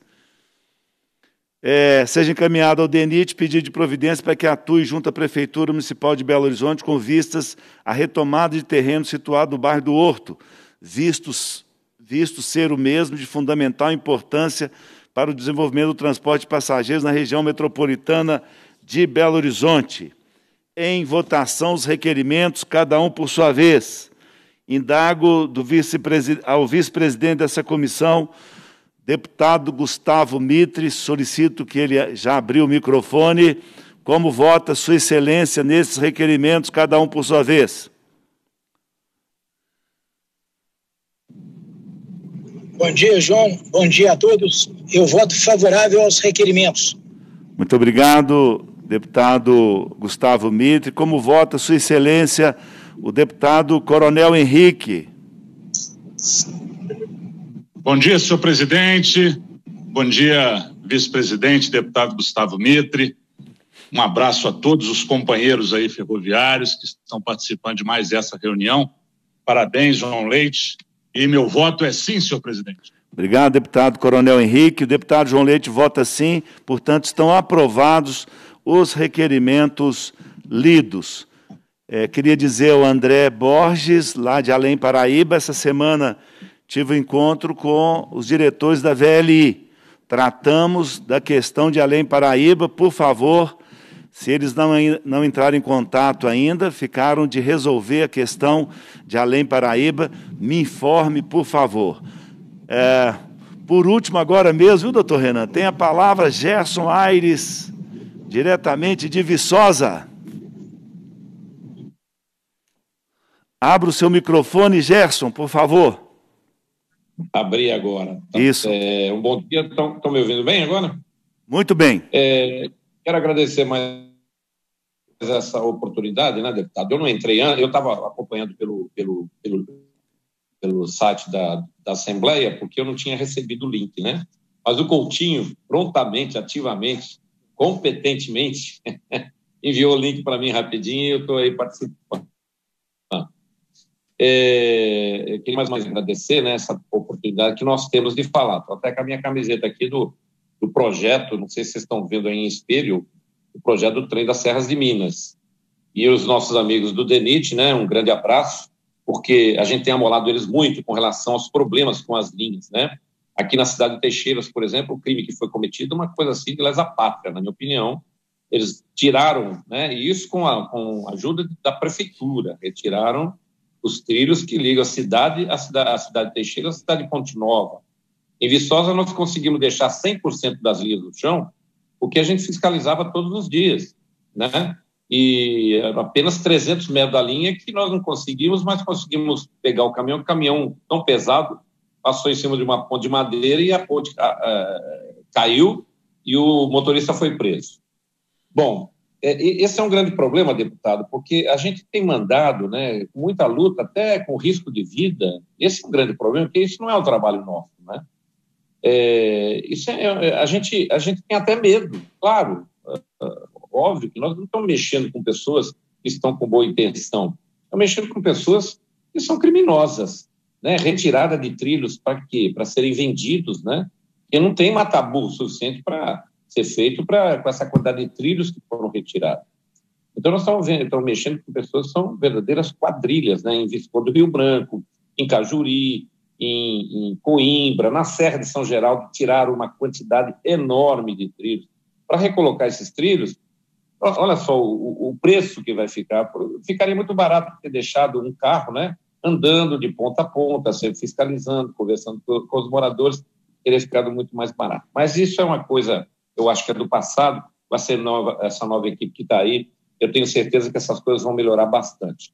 Eu fiz ali o pedido, né, por, por e-mail, é, da, da questão da cessão de uso das linhas do, da faixa de domínio entre a cidade de Ponte Nova e Dom Silvério. Trata-se de um trecho maravilhoso. Eu acho que não tem trecho mais bonito do que esse trecho, a não ser aquele de Dona Eusébia Cataguases também, que é muito parecido. Mas é, é, é, um, é a, a, faixa de domínio, eu e o André Tenuto andamos lá vários dias a pé, fotografando, uh, andando uh, todo esse trecho e verificamos que uh, toda a, a estrutura está lá, a infraestrutura está toda lá. É, nenhuma invasão, a não ser alguns pontos, né, um pouca coisa, coisa muito simples de se resolver. É, se eu não me engano, essa faixa de domínio está nas mãos é, da SPU, é um outro assunto que nós temos que tratar com relação à SPU. E precisamos desse pessoal também apoiando nesse projeto de, de retomada ferroviária. Lá na cidade de Ponte Nova, nós estamos vendo lá, é, é, no centro da cidade, o prefeito retirando as linhas. Né? Já, pedimos, é, já pedimos providências por parte do DENIT, mas a alegação que a gente tem sempre, a gente entende a situação, né? Então, a situação que nós saímos, a situação que o DENIT saiu.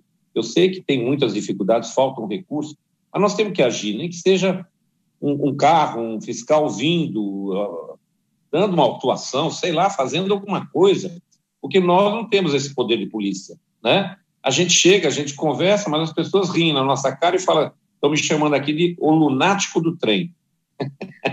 Soltaram até uma carta na cidade aí, me chamando de o lunático do trem.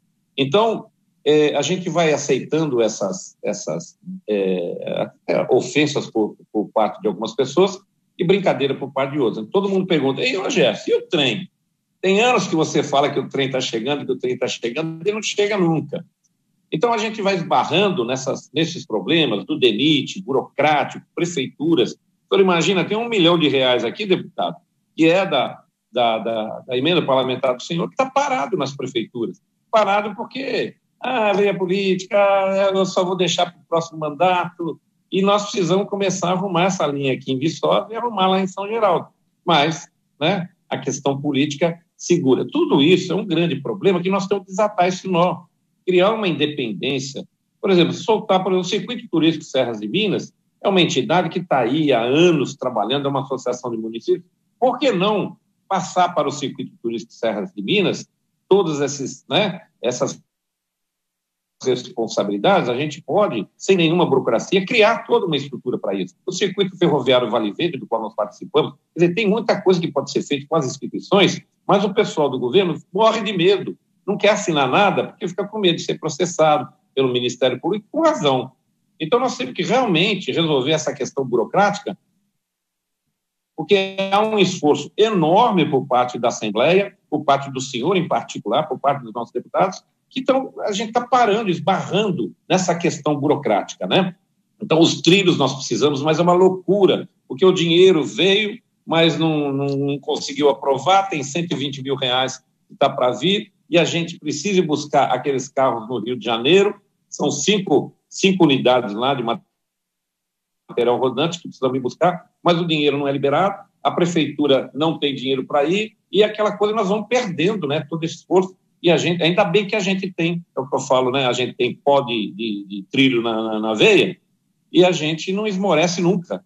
Então, fica aqui a nossa, a nossa, o nosso apelo, mais uma vez, que o DENIT encontre uma maneira de. Des... Eu sei que é difícil, eu sei, eu não estou. A gente sabe, não estou querendo é, é, ser sonhador aqui, mas nós temos que tomar providência, deputado, com relação a essa questão da burocracia. Eu sei que a corrupção é culpada disso tudo, se não fosse a corrupção, nós não teríamos essa burocracia. Mas eu acho que está na hora de nós começarmos a, a sair, porque a gente, com tudo na mão para fazer as coisas, não acontece, porque o DENIT não pode, a prefeitura não pode e a gente não tem a menor condição. Né? Então, fica aqui o nosso pedido para a questão da, da faixa de domínio entre Ponte Nova e a cidade de Dom Silvério, passando por Rio Doce, um, um, um dos projetos mais bonitos que eu, que eu, que eu já vi, que eu, que eu já que a gente está acompanhando, né? E a questão dos trilhos. Nós precisamos de trilhos e dormentes para revitalizarmos esses trechos de linhas que foram roubadas e, e precisamos de agilidade, né? E, e também de recurso. o deputado já nos ajudou muito, viu, Coronel Henrique? Se eu estiver nos ouvindo, emenda parlamentar no ano que vem para os nossos projetos para a gente unir as cidades de Viçosa, Cajuri, unir Viçosa, Teixeiras, unir Cajuri a Coimbra, descer a serra, aí sim nós vamos ter um grande projeto. Precisamos dos senhores, precisamos do governo do Estado, precisamos do governo federal através do DENIT, e fica aqui então o nosso apelo, né, para que eu preciso buscar esse material, deputado, lá no Rio de Janeiro até o dia 30 de novembro. preciso de ajuda, né? É, vamos, vamos chamar o exército, vamos botar esse troço andando, né? Senão nós vamos ficar só nessa, ai, nessas duzentas e tantos ou quinhentas e tantas reuniões que já fizemos até hoje, né? Um abraço, obrigado pela oportunidade. Desculpa se eu falei demais. Gerson, Sua Excelência, o relator dessa comissão, o deputado Roberto Andrade, tentou falar com você ontem direto. Parece que agora ele está é, deslocando de Belo Horizonte para Viçosa, mas ele está com encaminhamento dessa questão aí já. Ele queria só uma conversa com você para acertar direitinho a, a, o transporte das locomotivas e dos carros e do alto de linha. A presidência, nos termos do artigo 120, 25 do Regimento Interno, reitera o requerimento número 3094 de 2019, que nós não obtivemos resposta ainda deste requerimento. Não é tão simples, não é? Portanto, agora, doutor Renan, muito obrigado pela paciência, viu? É, o senhor tem a palavra. Obrigado por conceder, dentro da sua palavra, esse tempo aqui para resolvermos essas questões. O senhor tem a palavra.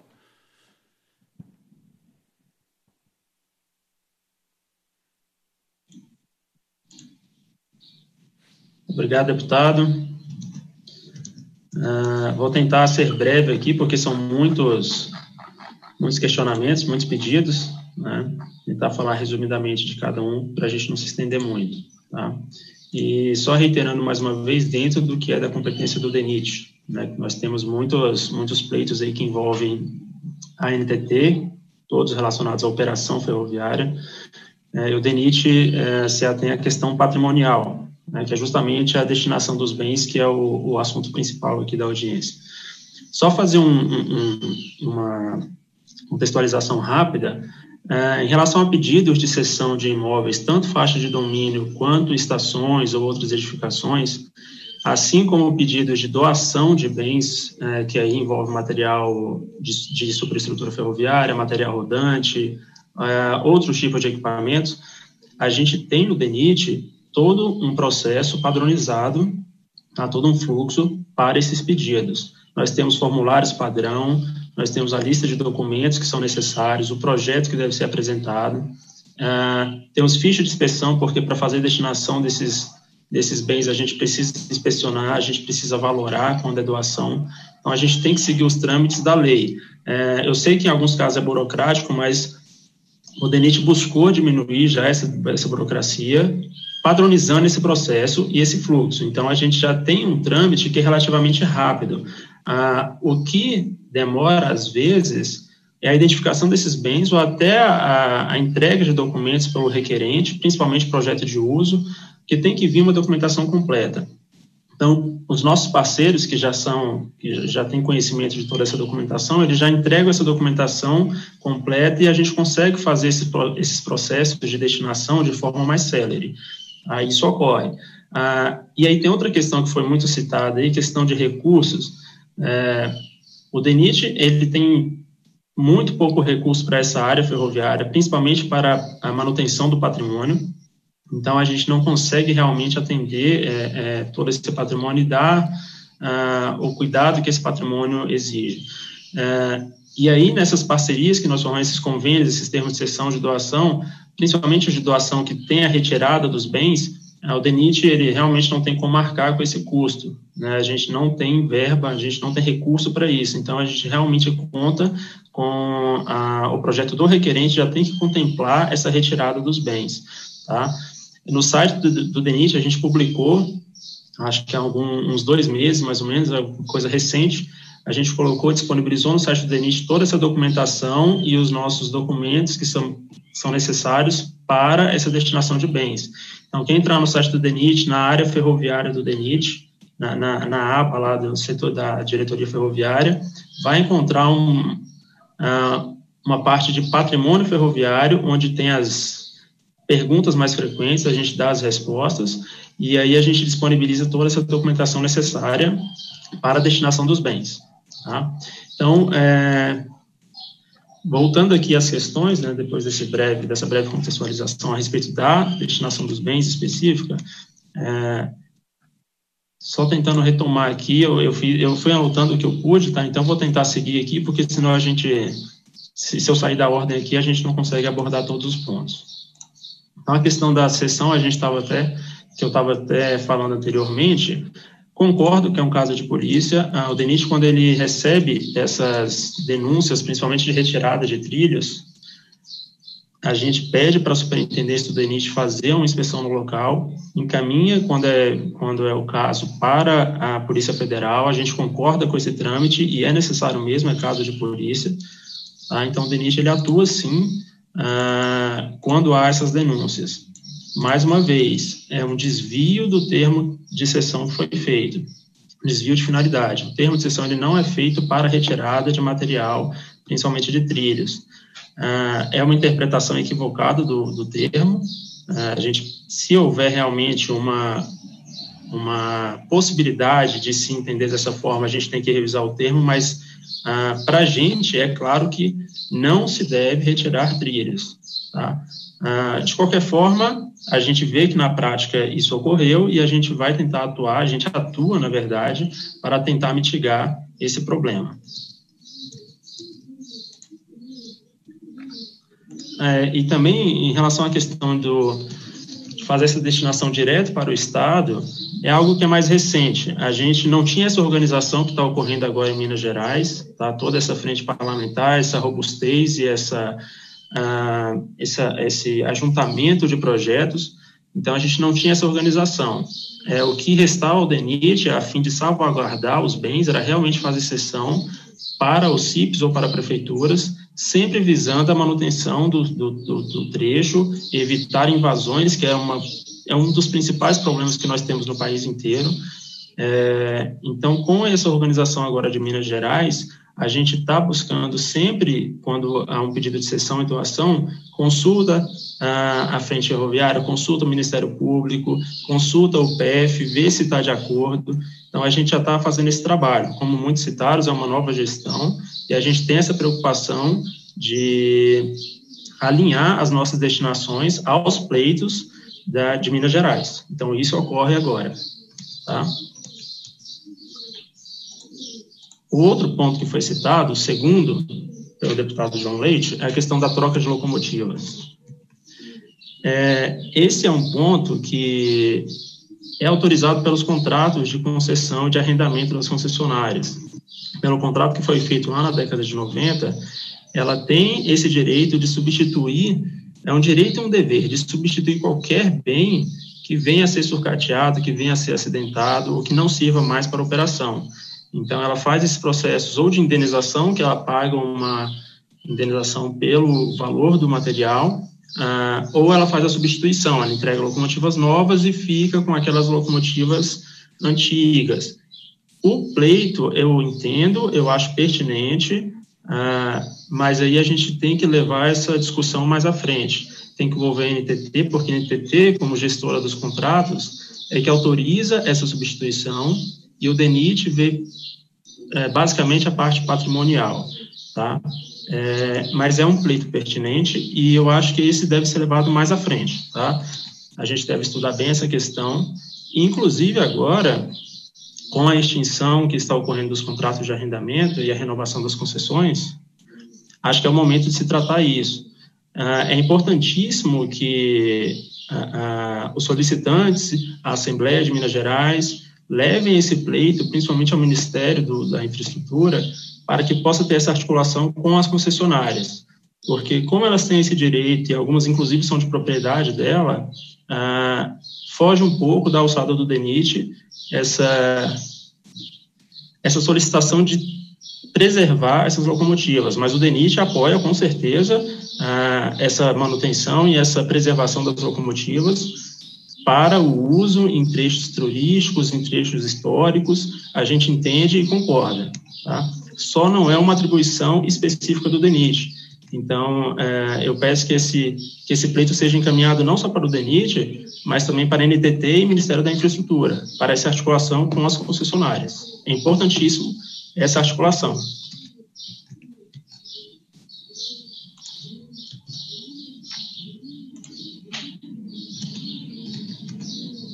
Deputado, a qualquer momento, se o senhor quiser me interromper e comentar, tá, estou à disposição. Estou seguindo aqui o que eu fui anotando para ficar mais organizado, mas se a qualquer momento, se quiser fazer alguma contribuição, tá, tá pode ficar à vontade. É, doutor Renan, é, nós estamos acompanhando e, e já estou tomando aqui algumas providências. Doutor Felipe, consultor da Assembleia Legislativa, já está preparando o requerimento para encaminharmos ao Ministério da Infraestrutura e encaminharmos também para a NTT em relação a essa questão, né, que é importante para nós, né, tudo que o Bruno Sanches falou, da importância de termos essas locomotivas menores né, para operação tanto de short lines quanto turístico e até de passageiros também, né, é, pequenos trechos. Então, nós estamos fazendo isso é, queria solicitar também ao doutor Felipe que encaminhemos ao secretário de Infraestrutura do Estado, doutor Fernando Marcato também,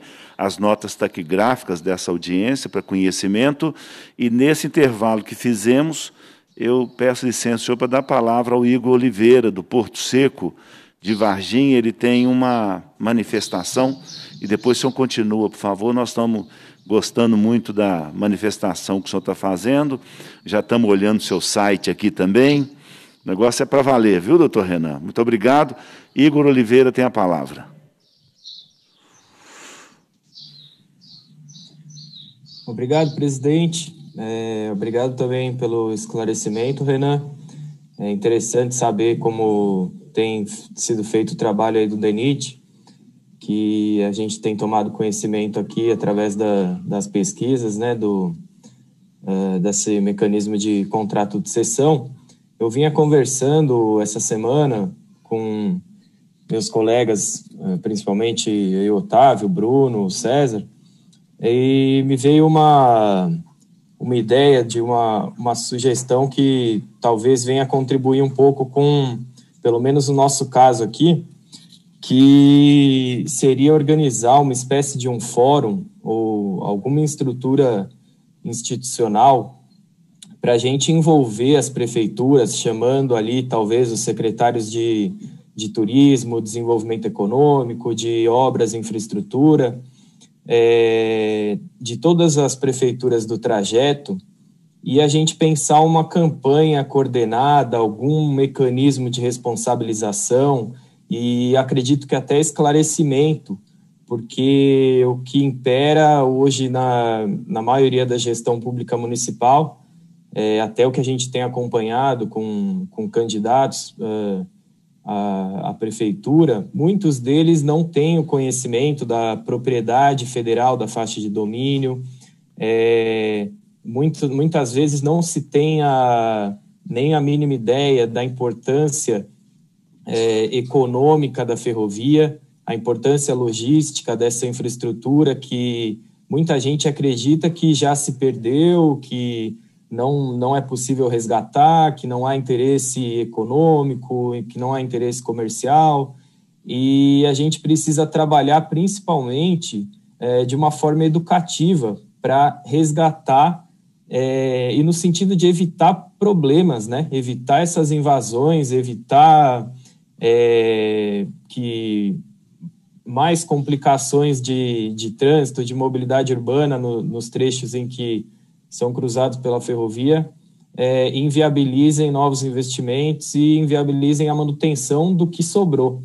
Então, eu, eu solicito aos nobres deputados e também aí o apoio do Renan, se a gente é, puder trabalhar desenvolvendo, um, um, aproveitando que também ano que vem boa parte das prefeituras devem se renovar, a gente chamar aí essas prefeituras, chamar é, órgãos representantes do também do, do setor de turismo, que é muito, muito forte, organizado na região, e fazer uma espécie de campanha contra as invasões da faixa de domínio, uh, contra asfaltamento, retirada de, de trilhos, de material, é, que só isso já, já seria um bom caminho para tanto para o poder público quanto para a sociedade compreenderem que é uma infraestrutura que é possível de ser, de ser recuperada é, e para trazer ganhos para as cidades, né? para aumentar aí o emprego, a renda nos pequenos municípios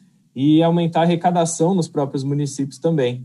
Então, da gente pensar aí para o ano que vem uma estrutura que não só aqui no caso de é, Lavras, Varginha e Cruzeiro, mas que a gente pode replicar, pode talvez começar aqui um, um teste, depois replicar para as outras regiões também que tem aí o desejo de, de recuperação dos, eh, das linhas ferroviárias. E a gente pensar um modelo organizado para eh, estruturar isso e ter uma interlocução direta com os municípios. Senão, também a gente corre o risco de cada prefeitura eh, solicitar o seu contrato de cessão, cada prefeitura faz um projeto que não, não dialoga com o município vizinho, enquanto a gente poderia ter uma linha é, funcionando e operando tanto com carga, passageiro, turístico e trazendo benefícios mútuos a todos. Então, queria deixar essa sugestão para a gente levar essa, essa ideia adiante se todos estiverem de acordo. E obrigado. Obrigado, Igor. Você arrumou mais serviço para nós, né, Igor? eu, você falando e eu pensando, bom, temos que fazer um fórum no sul de Minas, outro fórum lá, é, lá em Viçosa, lá na região, outro fórum é, em Patinga com André, é, Jequitinhonha, norte de Minas. Sem dúvida que é, lá em Além Paraíba, temos que fazer um fórum também, é uma ideia excelente de inclusive educativa, né, para as pessoas e os novos gestores conhecerem. Eu estou totalmente aberto, a Assembleia Legislativa, né, esse é o papel dela, é, contem comigo, nós não podemos perder essa, essa memória. Quem sabe você já inicia uma proposta aí pelo sul de Minas, junto com esse ferro chato, que é o César Mori, e aí, quem sabe, o fórum vai ser na Escola Ferroviária do César Mori, não é? Ou no Porto Seco, ou, ou em Varginha, num auditório. Quem sabe? Vamos começar por aí. Depois André Borges convoca a gente para um grande encontro em Além Paraíba. Eu acho uma ideia sensacional essa do Igor.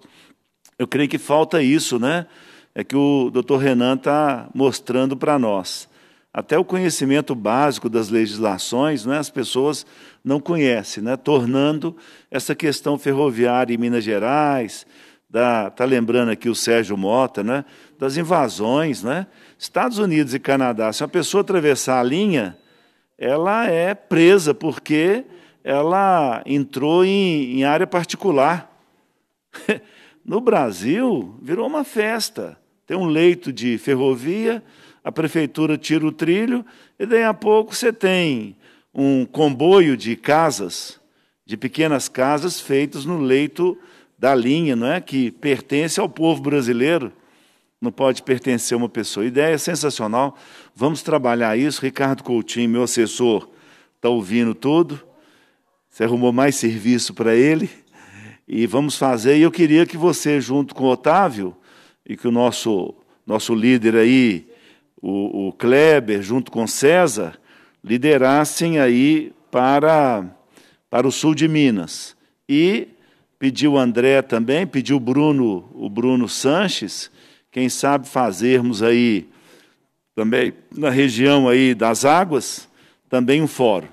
Estamos à disposição, André lá e Gerson lá em Viçosa, o André Borges lá em Além Paraíba, e aí nós vamos fazer uma agenda e eu, da minha parte, estarei nesses lugares e chamando também as autoridades, o, o secretário de Infraestrutura do Estado, a superintendente ferroviária. Excelente ideia. Conte comigo. Deu o pontapé inicial, o tiro de meta aí no sul de Minas com César Mori. Você, Igor, Otávio, Kleber, não é? e contem comigo. Continua com a palavra o doutor Renan Teixeira.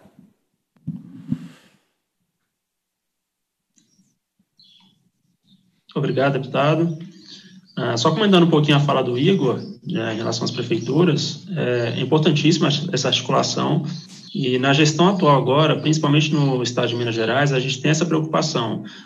Sempre que vai ser feita uma sessão ah, de trecho, por exemplo, que não é muito comum, é um ou outro, a gente consulta antes a questão do PF, se esse trecho está contemplado no PF, qual é a perspectiva de utilização dele, se está integrado em um projeto que envolve mais de um município. Então, a gente, a, a a partir desse ano, a gente não está fazendo mais essas sessões é, desencontradas. A gente sempre é, é, vê, junto com o Estado de Minas Gerais, a questão do PF e até a destinação. A gente sempre consulta o Ministério Público por conta ah, dessa preocupação da frente parlamentar, do Estado de Minas Gerais como um todo, dessa preocupação com o setor ferroviário, que está crescendo agora, e pela legislação ah, ah, estadual que declara a, a importância né, de todo esse patrimônio é, no estado de Minas Gerais. Então, a gente está sempre fazendo todas essas consultas para evitar justamente ah, esses desencontros de projetos em municípios ou prefeituras vizinhas, ok? Ah, dando prosseguimento aqui a, aos outros questionamentos, ah, ponto que foi tocado de short lines, com essa possibilidade agora da renovação das das concessões é, e, e, devolução de alguns trechos pelas concessionárias, o DENIT é, tem essa perspectiva de receber alguns trechos é, que estão ou abandonados ou que serão desativados. E aí, ah, com essa legislação que se espera que se saia, que tem um projeto de lei ah, no Congresso, é, que venha a possibilitar short lines, o DENIT tem total interesse de destinar esses, esses trechos para a implantação de short lines ou sempre voltado à operação ferroviária, seja turístico, seja de passageiros, seja de cargas, uh, dentro da legislação. Então, uh, hoje a gente não tem regulamentação para shortline, mas a gente aguarda isso e espera que saia o quanto antes, de preferência até a devolução desses trechos pelas concessionárias, porque realmente uh, vai ser um, um, outro caso em que o DENIT vai receber trechos e não vai ter como operar. Então, a gente vai precisar destinar esses trechos, a gente também não vai ter recursos, provavelmente, para fazer a manutenção desses trechos. Então, uma das saídas que a gente apoia e espera que, que, que seja viabilizada realmente são as short lines. Tá? Então, pode contar com o apoio do DENIT na implantação dessas short lines, uh, desde que haja a, a, a segurança jurídica para isso, e, e, aí é uma política pública que depende do Ministério da Infraestrutura, de, de autorização legal, e a gente espera que isso tudo ocorra. Ok? Outro ponto que foi tocado e que é de, de, de, extrema importância e preocupação, que não só pelo deputado João Leite, mas por outros também foi tocado, a questão da área de, de Belo Horizonte, tá? que, é, se eu não me engano, é uma área que, que houve uma remodelação de linha pela Vale, pela FCA, e aí sobraram alguns terrenos. Eu não sei se é esse específico ou se é um outro que já era não operacional, que já não era arrendado. Mas, de qualquer forma, o DENIT está ciente dessa preocupação, dessa possível utilização desse terreno para, para a, a manobra de trens, e essa questão está sendo vista internamente. Tá? Eu ainda não tenho um posicionamento agora tá, sobre essa questão da área de, de Belo Horizonte, mas a gente está vendo com muito cuidado. O DENIT está tratando internamente essa questão com muito cuidado, a fim de atender a todos, principalmente a, a, ao fim ferroviário, né, que é o nosso, nosso, a nossa grande, o nosso grande objetivo, né, a operação ferroviária. Então, essa, essa questão está sendo tratada internamente. Espero que em breve a gente tenha uma solução uh, voltada para a ferrovia. Outro ponto que foi citado foram os projetos né, que existem. Uh, e aí, é como eu disse, né, o DENIT ele apoia sempre que pode esses projetos na destinação dos bens. Uh, tem vários trechos ferroviários que se pretende colocar em operação, seja para turismo, seja para passageiro, e o que o DENIT pode fazer para destinar bens para esses projetos, o DENIT está à disposição para fazer. É, reitero que a gente tem todo um trâmite legal estabelecido, tem todo um fluxo de processo, toda uma documentação, está lá no site do DENIT. Então, sempre que, que for necessária a utilização de bens que hoje são do DENIT para a implantação desses projetos, o DENIT está à disposição para ceder e para doar, seja cada caso. Ah, então, a gente é, é, é, está recebendo esses pedidos e, e, pede a colaboração de todos. Se tem um projeto, se tem a viabilidade de utilizar bens que hoje estão ah, sob a administração do DENIT, encaminha o pleito formal, no site do DENIT tem toda a documentação e a gente vai dar andamento a essa análise. Claro, sempre dentro do que a gente pode, é, de acordo com a, lei, com a legislação vigente, ok? Ah, em relação à sessão, foi até um ponto que foi citado aqui no, no chat, é, aproveitando que eu estou falando desse assunto, é, do André Borges, né, ele citou que, que as sessões é, sempre foram feitas para associações também, agora precisa ser o CIP. É, na verdade, sessão, a gente faz sessão de imóveis. Para a sessão de imóveis, é, pode ser para um ente público ou qualquer instituição sem fim lucrativo. Agora, a questão da doação, que realmente é de bens móveis, que é matéria rodante, equipamentos, a doação de bens móveis, ela tem um decreto específico que determina quais são os entes ali que podem receber essa doação. Ah, inclusive, houve uma atualização recente nesse decreto, é o 9373. Ah, ele, é, é, essa atualização que houve agora ampliou um pouco o leque das entidades que podem receber essa doação. Ah, eu não sei se o museu ainda, se, se ele foi incluso agora nessa nessa atualização da, da, do decreto, mas a gente pode rever essa situação aí, tá, André? Então, a gente também não pode fugir da legislação vigente. Tá? Mas, de qualquer forma, no que a gente puder atender esses projetos que estão sendo implantados com a doação ou cessão de imóveis, doação de bens móveis e cessão de bens imóveis, o DENIT está à disposição. É, eu, eu, acho que eu abordei todos os pontos que foram colocados aqui inicialmente pelo deputado João Leite. Vou passando aqui para os próximos que eu anotei de cada um, tá? Tentando ver o que a gente pode é, esclarecer a respeito do DENIT, no âmbito do DENIT. O André colocou o apoio do DENIT, né? Que é um grande parceiro nosso aí. É, é, André não, Bruno, desculpa, Bruno Sanches da BPF. É um grande parceiro nosso. É, ressaltou também a questão da preservação dos trilhos, que eu já citei, né, o DENIT é, a, concorda que tem que haver, sim, a preservação, a gente sempre está buscando agora, né, a partir de agora, principalmente, fazer essas sessões deixando claro a preservação da, do material ferroviário, a gente não concorda com a retirada de, das ferrovias, dos trilhos, e outro ponto que foi colocado foi das locomotivas, que eu inclusive já citei, que foi um ponto também citado pelo deputado João Leite. Tá? É, a gente às vezes não tem noção, né, a gente não tem esse conhecimento que vocês têm na ponta, principalmente quem opera, as associações que operam e as concessionárias ferroviárias. A gente não tem essa noção da, de que uma locomotiva antiga é tão importante para a operação, mais importante do que uma locomotiva nova, moderna. Né? É, isso é importante ser, ser esclarecido e ser colocado para que a gente possa fortalecer essa nossa, essa nossa articulação com as concessionárias. E aí, como eu disse, precisa do envolvimento da NTT e do Ministério para que a gente possa fazer essa, essa interlocução com as concessionárias. Como é um direito delas contratual fazer a substituição dos bens, ah, é necessário que haja essa interlocução e, e que, de alguma forma, ah, seja estabelecido que esses bens são de importância histórica. Inclusive, na lei que criou o DENIT NTT, a 10233, de 2001, ah, ele coloca como atribuição da NTT indicar bens que são de importância histórica, tá?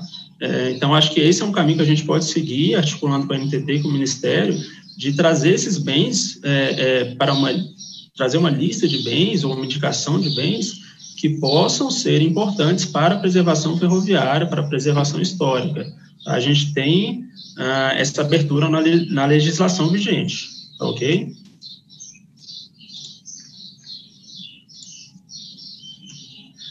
Outro ponto citado foi a dificuldade de retirada dos bens né, cedidos do ASO, como eu já citei, inclusive. Né, o DENIT ah, não tem como atuar nessa retirada, a gente não tem recurso, né, a gente mal tem recurso para manter os nossos bens, então a gente não consegue auxiliar nessa questão. Então, sempre que a gente pede o projeto de uso, que é, faz parte da documentação padrão, já tem que estar contemplada a retirada desses bens. O próprio requerente ele precisa ter condições de retirar, porque o DENIT não tem condições de auxiliar nessa questão.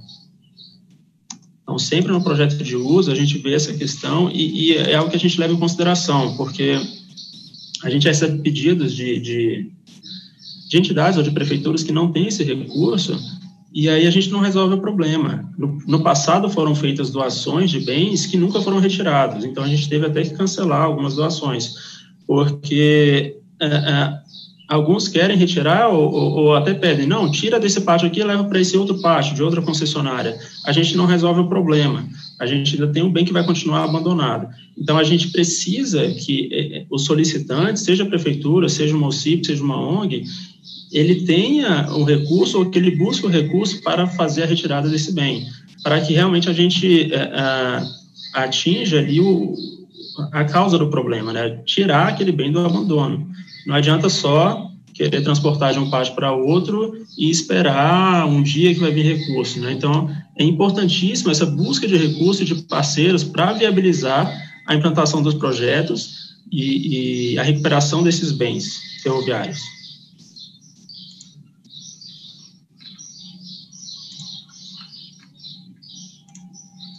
Eu acho que eu conseguir comentar, Bruno, todos os, os, seus pontos, mas se tiver mais algum ponto que queira colocar aí posteriormente, fique à vontade.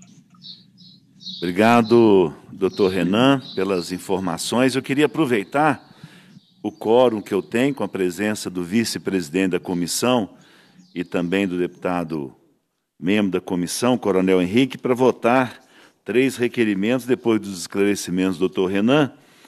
É, eu queria apresentar, deputado Gustavo Mitre e deputado Coronel Henrique, por favor, atenção de vocês. O primeiro é requerimento é enviar as notas taquigráficas dessa reunião para eh, para a CEINFRA, a Secretaria de Infraestrutura do Estado de Minas Gerais. Depois, também um requerimento encaminhado à NTT, Agência Nacional de Transporte Terrestre, pedido de providência para que seja viabilizada a cessão da prática das concessionárias ferroviárias de supressão e sucateamento de locomotivos de menor porte, sua troca por locomotivos de maior porte, pede providência para que, caso ainda haja a troca ou devolução de locomotivas, que essas sejam devolvidas ao poder concedente em estado operacional. Esclarece que tal pleito se justifica pelo fato de serem as locomotivas de menor porte as mais adequadas para projetos como trens turísticos e short lines. Seja encaminhado ao Ministério da Infraestrutura em Brasília e pedido de providência para que seja viabilizada a cessão da Praia das concessionárias ferroviárias de supressão e sucateamento de locomotivas de menor porte e sua troca por locomotivas de maior porte. Pede providência para caso ainda haja troca ou devolução de locomotivas, que essas sejam devolvidas ao poder concedente em estado operacional. Esclarece que tal pleito se justifica pelo fato de serem as locomotivas de menor porte as mais adequadas para projetos como trens turísticos e short lines em votação os requerimentos cada um por sua vez. Solicito ao deputado Coronel Henrique que abra o seu microfone e, e indago de Sua Excelência como vota nestes três requerimentos. Senhor presidente, meu voto é sim. Muito obrigado, deputado Coronel Henrique. Como vota Sua Excelência, o vice-presidente da Comissão de Ferrovias da Assembleia, deputado Gustavo Mitre, nos três requerimentos apresentados? Presidente, meu voto também é sim. Deputado João Leite vota sim também, portanto, estão aprovados os três requerimentos. Indago aos participantes se só uma questão por fim com, com o doutor Renan. Doutor Renan, nós fizemos o requerimento solicitando um portfólio com é, os bens do DENIT para doação, para que as nossas entidades tenham conhecimento desses bens. O senhor falou em um, um num sítio, né, no site da, é, do DENIT, onde nós podemos encontrar estes bens, ou é, o DENIT enviaria para a Assembleia Legislativa esse rol de bens que o DENIT tem para ceder a associações, a entidades.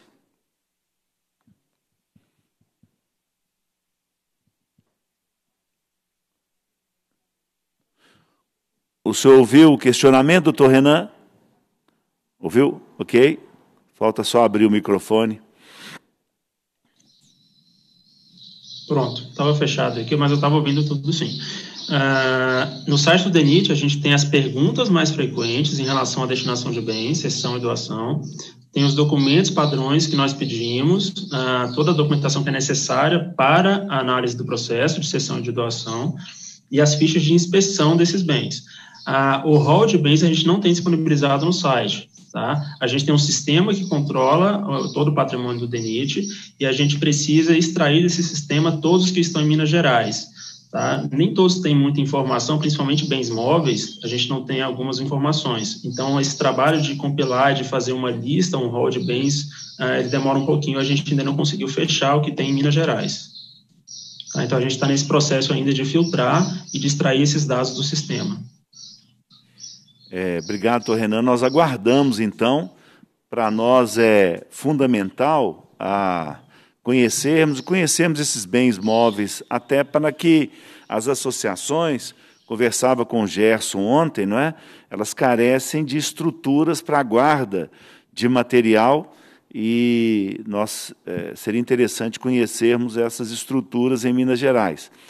É, essa semana mesmo fiz, fiz um contato também com a Superintendência do Patrimônio da União, que detém muitos bens ferroviários no estado de Minas Gerais.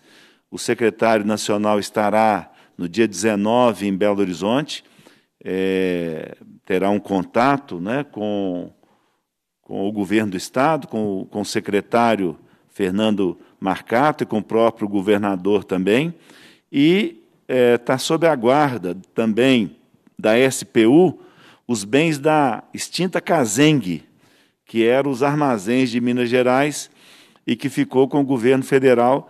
Tem uma estrutura grande, né, grandes armazéns, e que podem ser utilizados também como é, terminal logístico de carga e também guarda de é, guarda de material ferroviário também.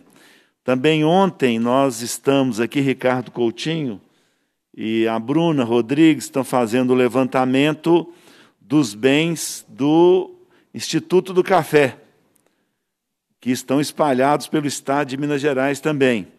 Então, nós estamos é, atentos aqui é, para encontrarmos esses bens para serem utilizados na retomada ferroviária. Então, eu queria pedir, doutor Renan, se eu pudesse disponibilizar essas informações, elas são fundamentais né, estrategicamente, até para o plano estratégico ferroviário de Minas Gerais ter conhecimento. Né? Eu estava dando uma olhada aqui nas janelas que nós teremos no orçamento do Estado para o ano que vem e também é, no PPAG, é, os, os, técnicos da Assembleia Legislativa eles é, apontaram para diversos itens importantes, né? É, janela orçamentária para operadores ferroviários, é, escolas, estações ferroviárias, construção de ferrovias, recuperação de ferrovias, pátios ferroviários, oficinas ferroviárias, escolas ferroviárias, uh, material reforma, reformar material rodante, vagões, locomotivas, autos de linha, etc., a serem utilizados em trechos ferroviários. Aquisição de material rodante ferroviário, apoio a operações ferroviárias. Portanto, o orçamento do Estado de Minas Gerais. Eu creio que, não sei se o doutor Felipe, ele é muito jovem, mas eu não, não lembro na história recente desses diplomas da Assembleia Legislativa termos essa possibilidade né, de recursos financeiros para operação ferroviária, para instalação de escolas ferroviárias. Então, é, foi para a prática mesmo, né? Está nos documentos legais de planejamento do Estado, lei orçamentária, é, plano plurianual de ação governamental e plano mineiro de desenvolvimento integrado. É sem dúvida por conta aí dessa frente ferroviária, ter esse nome bonito, né? Frente ferroviária, mas outros chamam essa frente de ferrochata. Os ferrochatos conseguiram, não é? Avançaram em Minas Gerais para é, um novo momento e um momento importante. Gostei muito da ideia do Igor Oliveira, do Porto Seco, reunir as prefeituras numa ideia será muito importante e eu, inclusive, estou pedindo aqui para a gente fazer uma, uma, um estudo, talvez vá para as legislações que estão tramitando, deixa eu dar o número delas, mas o site da Assembleia Legislativa, e nesse momento toda a área de comunicação da Assembleia Legislativa está trabalhando. Bom, a lei, a primeira lei foi a a, a 23230 de 2019, sancionada pelo governador Romeu Zema, que reconhece como de relevante interesse cultural do Estado de Minas Gerais as linhas e os ramais ferroviários existentes em Minas Gerais. Essa foi a primeira lei. depois, nós temos aqui a PEC 43. É, o artigo 1 né, muda o inciso 9 do artigo 10 da Constituição do Estado, que passa a vigorar com a seguinte redação: Artigo 10, inciso 9. Explorar diretamente ou mediante concessão, permissão ou autorização o serviço de transporte ferroviário e aquaviário que não transpõe os limites do seu território, território de passageiros. Depois Agora é projeto de lei, está tramitando o 1699-2020, institui a política de transporte sobre trilhos no Estado de Minas Gerais. Fica instituída a política de transporte sobre trilhos no Estado de Minas Gerais, em consonância às diretrizes do Plano Nacional de Mobilidade Urbana. É grande, é? são muitos artigos e uma grande fundamentação, e eu gostaria, inclusive, da colaboração, da contribuição da frente ferroviária, nós estamos imaginando em criar regiões ferroviárias no estado de Minas Gerais, até para a gente ter uma, um, um, acompanhamento de manutenção de trilhos, de estações, é, olhar o sul de Minas, olhar a zona da mata, o norte de Minas, ter essa visão. Nós vamos trabalhar nisso. Depois temos o projeto de lei 2222 de 2020, que altera a lei número 6.763 de 75, que consolida a legislação tributária do Estado de Minas Gerais. Fica o Poder Executivo autorizado a isentar do pagamento todo imposto sobre operações relativas à circulação de mercadorias e sobre prestação de serviços de transporte interestadual e intermunicipal de comunicação, as operações e prestações a seguir relacionadas, realizadas em estabelecimento localizado no Estado de Minas Gerais, responsável pela fabricação, importações do exterior de insumos de bens destinados ao ativo imobilizado sem similar nacional, relativamente às diferen diferencial de alíquota nas operações interestaduais de bens destinados ao ativo imobilizado, prestações de serviço de transporte de bens, que trata a linha A, que trata justamente de trens, locomotivas, vagões, contêineres para empresas intermediárias para cessão para arrendamento mercantil ou aluguel. Fica o Poder Executivo autorizado na forma e no prazo, nas condições previstas em regulamento, para isentar de pós-circulação de mercadoria estes bens. Muito bem, é, é isso que a gente teria. Indago se alguém ainda deseja fazer uso da palavra. André Tenuta, tem a palavra. Para considerações finais. Uhum. Vou contaminar sua caneta. Alô, estamos escutando? Estamos te ouvindo, é, tá, André. Tá, ótimo, perfeito. Tá bom. Ô, Renan, eu, eu gostaria de levantar uma situação que é muito comum, aproveitar que você está é, aí, é, quando, às vezes, frequentemente ocorre da gente solicitar um bem, é, um material rodante, que pela idade e pela situação onde ele foi armazenado, às vezes no tempo, durante muitos e muitos anos, a identificação, a identificação some. E aí, nesse tipo de situação, a gente cai num buraco negro é, onde é, o, o DENIT não avança com, com, a, com, aquela liberação do material para ser resgatado e recolocado em, em, um local mais seguro e ser reformado, porque não tem identificação. Aí para tudo. Ou então, já aconteceu também, ele, o DENIT abre um, um processo de re, um novo processo de registro ou às vezes chamado de inventariância do bem é, como se aquele bem nunca tivesse sido inventariado, registrado, etc. Ele começa do zero. Aí é um processo mais longo ainda.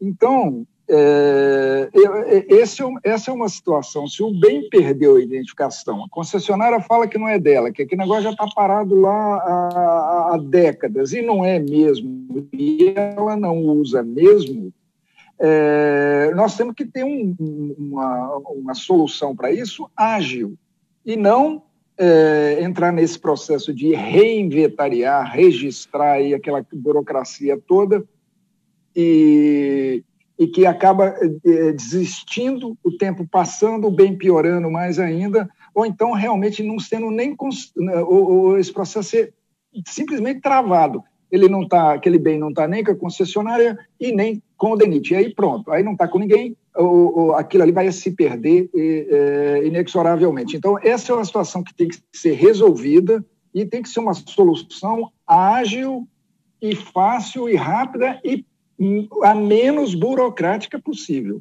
Então, essa é uma situação muito frequente que ocorre é, para todo lado e que tem inviabilizado o salvamento de muita coisa.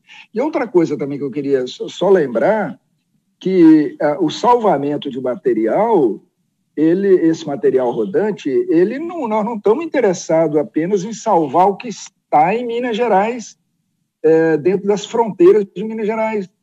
É, não, nós vamos precisar, o Brasil precisa, e se Minas Gerais está puxando esse carro da retomada ferroviária, os outros estados vão vir atrás e nós temos que salvar é tudo que está em, em outros estados. Tem muita coisa. Campos, que tem uma, uma estrutura maravilhosa, que está sendo abandonada é, criminosamente pela FCA.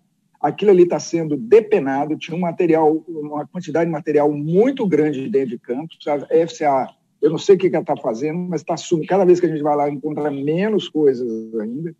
Então, a, o olhar que nós estamos tendo não é apenas restrito a Minas Gerais, não é, nós temos que cuidar e salvar material é, do Brasil inteiro, tá? Inclusive porque um material rodante ele não fica só em Minas Gerais, ele sai de Minas Gerais, vai para tal lugar, o material que está no Rio vem para cá, vai para outros estados. Então, é, um, é, uma situação nacional, é um interesse nacional. Isso não pode ser previsto. Quando a gente fala Minas Gerais é retomada, mas nós estamos de olho no Brasil como um todo. Tá? Então, eu teve essa, esse, esse lembrete e estou trazendo aí para a consideração de vocês a questão de material é, rodante sem identificação, que quando não tem indicação, pronto, esse material está condenado pela burocracia a ficar parado, porque ninguém tomou, ninguém tem coragem de assumir como proprietário e passar para quem quer cuidar. É isso aí. Muito obrigado, deputado, pela oportunidade. Ok. Gerson Aires de Moraes, depois doutor Renan responderá né, os dois questionamentos. Abra o seu microfone, Gerson, por favor.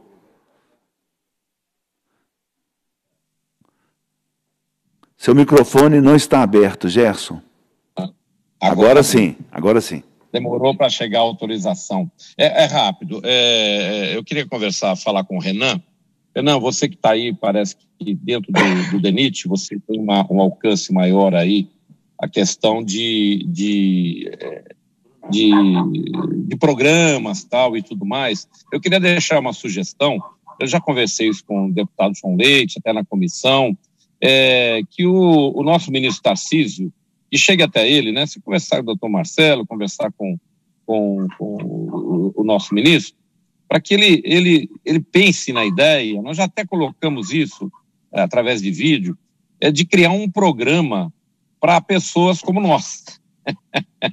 Os cabelos brancos que estão aí nessa luta há anos, há 24 anos, nós aqui até mais, desde 1978, um programa que privilegie é, é, é, essas, é, esses grupos, assim como veio a ideia ali do pessoal ali da, de, do sul de Minas, além Paraíba, que a gente tenha um programa dentro lá do Ministério para apoiar esse tipo de iniciativa nossa, porque você teria uma mão de obra barata, porque nós não temos salário e nem eh, não trabalhamos por isso. O nosso, o nosso único desejo é ver as ferrovias novamente é, revitalizadas, né, em, em, atividade.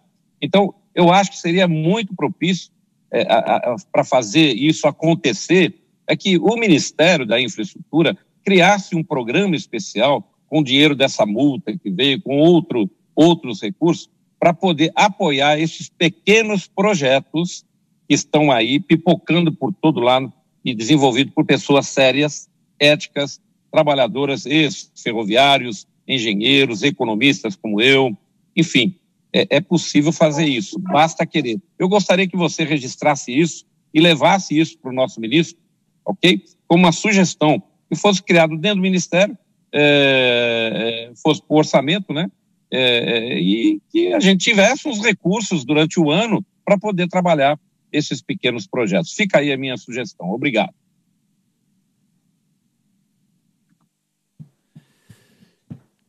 Renan, tem a palavra, Renan Teixeira, do DENIT.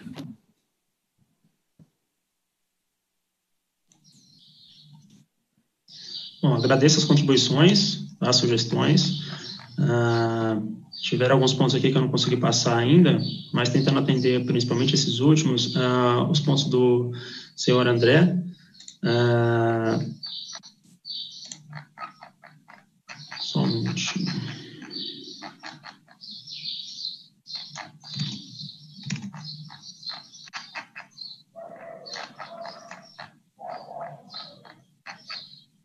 Tá ok.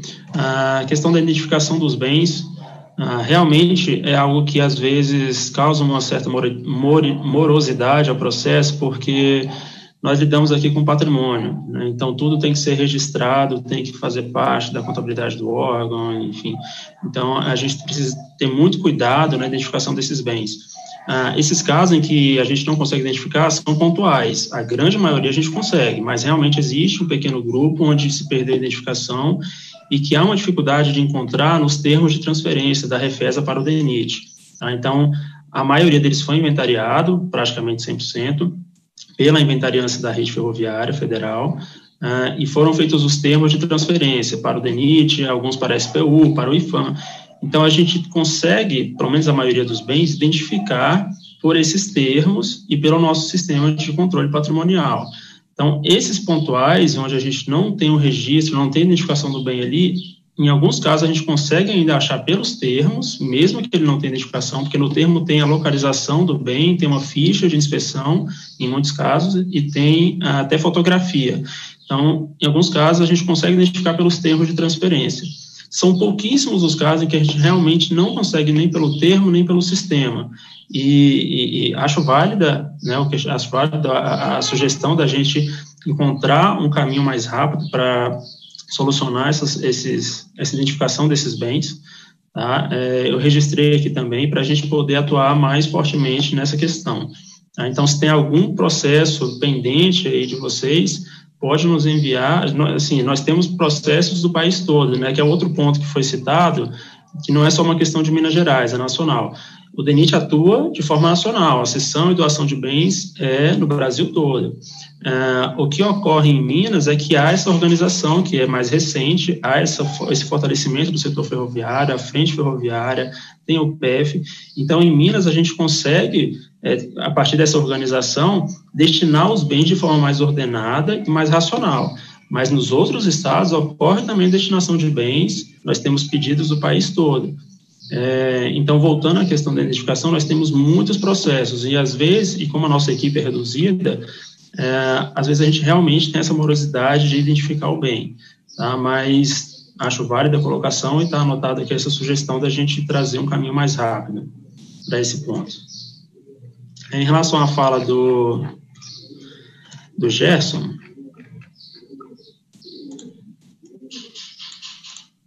anotei aqui a sugestão, tá, Gerson, de levar o ministro essa essa ideia de criar um programa né, para apoiar essas pequenas entidades, essas pequenas associações. É, também eu concordo com isso pessoalmente. O DENIT apoia qualquer projeto que venha a, a ter um interesse na preservação, na recuperação de bens ferroviários. Tá? Então, acho válido e, e eu anotei para levar essa questão tá? para o Marcelo Chagas, nosso diretor, e ao nosso ministro Tarcísio ok? É, tiveram outras falas e outros pontos que eu não consegui abordar, não sei se, se o tempo já está uh, curto, já está finalizando, só falar rapidamente de alguns pontos principais, porque muitos eu já abordei de forma uh, contextualizada aqui, mas só alguns pontos principais, principalmente do Sérgio, Sérgio Mota, da Apito, a questão que a gente, eu, sempre, eu já participei de reuniões também com o Sérgio a respeito do trem de Brumadinho e outros projetos da Apito, é, que envolvem principalmente a concessionária, porque são linhas ali que ainda são operacionais, é, e a NTT, que tem que dar autorização. A parte do DENIT, de ceder bens, a gente está à disposição para ceder, é, mas de, da mesma forma, a associação ela precisa ter recursos para retirar esses bens e um local para colocá-los. É complicado a gente, na, na verdade, nem complicado, a gente não pode tirar de um pátio, por exemplo, lá do, de Santos Dumont e trazer para o horto florestal se o horto florestal é um pátio operacional. Gente, o DENIT não pode determinar isso, precisa da autorização, da concordância da concessionária. Tá? Então, mais uma vez, é, é, é o DENIT não pode atuar de forma unilateral nesse ponto. O DENIT apoia, mas para a operação de transporte, para colocar esses bens em outro pátio que é operacional, precisa dessa articulação com as concessionárias. Mas o DENIT está à disposição para auxiliar no que puder. E um outro ponto que foi colocado pelo César Mora, pelo César Mora e na fala dele também aqui no chat, a questão da estação de Três Corações. É, eu não tenho conhecimento desse caso, tá, César? É, pelo menos não de cabeça. é, provavelmente está com a área da Érica, que teve que se ausentar da reunião. Ah, mas se puder passar esse caso para a gente por e-mail ou oficialmente, mais uma vez, por carta, por ofício, esse caso da estação de Três Corações, porque realmente é preocupante. A gente se preocupa com qualquer patrimônio que esteja sendo é, dilapidado, demolido, isso não pode ocorrer. Então, ah, se já há uma denúncia, nos encaminhe por e-mail, eu, a Érica, o Aristões, estamos todos à disposição tá, para analisar esse caso e atuar para que isso não ocorra. Tá? Agradeço também a parceria de vocês, tanto do Sérgio, que eu falei anteriormente, quanto do, quanto do César Mori, da CFVB. Está uh, sendo um grande parceiro lá em Lavras. Tá? Então, esses eu acho que eram os pontos principais que eu deixei de abordar. E tem outros pontos aqui, eu não sei se eu tenho mais tempo, tá? mas acho que a maioria eu já consegui abordar, pelo menos pela contextualização também. Muito bem, creio que o Sérgio, Sérgio Motos gostaria de falar uma questão. Tem a palavra. É, sim, é, deputado. É, o, doutor Renan, é o seguinte, eu é, comentei esse assunto aqui, é, sobre a linha do Horto, nós temos lá, foi, foi, foi separado da área da, da FCA VLI a, a, o antigo ramal do Matadouro. Essa linha está lá, não está na concessão da FCA, porque está é, é, é, tá dentro de, da área que foi cedida pela, é, pela, pelo DENIT à prefeitura. Então, é, quando cedeu para a prefeitura, eu, eu, eu percebi que cedeu uma área onde nós temos 1.700 e poucos metros de linha construída, estão lá as linhas ainda. E, e essas linhas, é, como foi cedido para a prefeitura, significa que não está na FCA. É o meu entendimento, né? Então, por isso que eu, tô, eu disse aqui, essa linha, se a prefeitura não conseguir se, se o DENIT não conseguir tomar isso da prefeitura, ela vai desmanchar. E lá nós temos 1.762 metros de linha construída. É a linha do Matadouro, uma, uma paralela que deriva da linha do Matadouro e uma outra terceira que sai dessa segunda. Ou seja, somando tudo, nós temos 1.762 metros. Naquele local, nós poderíamos é, é, é, levar os carros que estão em Santos Dumont para lá, né, os carros que a gente pediu para os nossos projetos. É, eu, eu não tenho certeza é, do que eu estou falando, que ela não está cedida, que ela pertence ainda à, à, à FCA, tá? Mas como a, eu, no, no levantamento topográfico que eu tenho da seção do DENIT à Prefeitura de Belo Horizonte, está incluído esse, esse trecho. E eu, inclusive, fiz um mapinha, mandei no processo para ir para o para o DENIT e tal. Posso fazer de novo, posso mandar para você, para você dar uma olhada para a gente lá. Tá bom? É, é, em vista disso, eu falei, poxa, nós não podemos erradicar uma linha. E eu não estou trazendo os carros para o Horto porque não temos local de colocar. Então, eu, eu realmente acho que é, nós temos que olhar isso aí para não perder esse trecho de linha. E, e ele serve para a gente. Né? É uma parte do que nós projetamos para fazer no Horto. Tá bom? Muito obrigado. Doutor Renan, quer comentar? Por favor.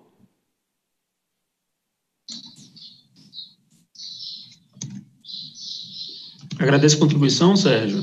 É, eu também não tenho certeza, mas eu acho que a área que está cedida para a prefeitura é uma outra área, que seria da remodelação da linha da, da, da Vale, que a Vale e a FCA usam esse trecho do ramal do Matadouro, se eu não me engano, ainda tem uma indefinição entre DENIT e SPU. Se eu não me engano, não está cedido à prefeitura, tá? Mas a gente, eu, eu, me disponho aqui a analisar esse caso, é, mas eu acho que esse ramal ele não está cedido, tá? É, a gente está definindo ele entre DENIT e SPU qual que é a, a, o órgão responsável por ele. Tá? Ele, inicialmente, se eu não me engano, ele foi para a SPU e a SPU tem o um entendimento de que tem que ser do DENIT. Né? Então, está havendo essa definição. De qualquer forma, é, não está autorizada nenhuma retirada de trilho ali, pelo que eu tenho conhecimento. Tá? Mas é claro que a gente tem que analisar esse caso com cuidado, e eu concordo que é um caso é, é, de urgência e de importância. Tá? Concordo com a sua fala. Muito obrigado, doutor Renan. Indago se algum participante ainda deseja fazer uso da palavra. Ok. Muito obrigado pelo tempo o doutor Renan é, destinou para a Assembleia Legislativa, para a Frente Ferroviária de Minas Gerais. Muito obrigado pelos esclarecimentos. Alguma coisa mais que o senhor lembrar para atender Minas Gerais, por favor, viu? Seria interessante para nós, doutor Renan, é, conhecer mais das estruturas que estão com o DENIT hoje, e o senhor pode ver que há um grande interesse de Minas Gerais em é, ter essas estruturas e mantê-las.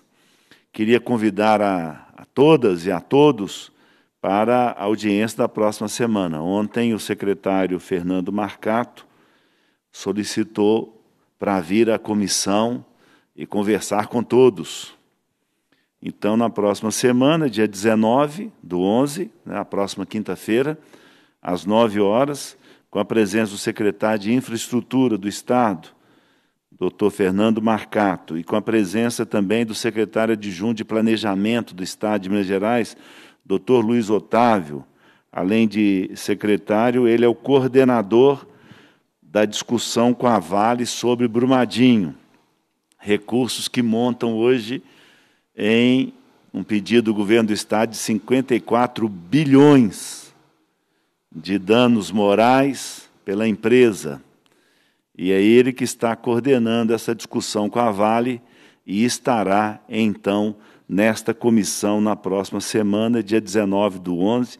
Estão todos convidados. Os acompanhará também o professor Paulo Rezende, coordenador do PEF, do Plano Estratégico Ferroviário de Minas Gerais, professor esse da Fundação Dom Cabral. Então, queria convidar a todos, queria solicitar também aos meios de comunicação da Assembleia Legislativa, por favor, todos aqui presentes conosco, quero agradecer a comunicação da Assembleia Legislativa, sempre tão atenta e que nos acompanhou nos liderou aqui é, nessa grande comunicação para todo, a, todo o Estado de Minas Gerais, que também dei publicidade, por favor, essa audiência importante da próxima semana da Comissão de Ferrovias da Assembleia Legislativa. Queria agradecer muito a comunicação da Assembleia, agradecer o repórter a repórter fotográfico,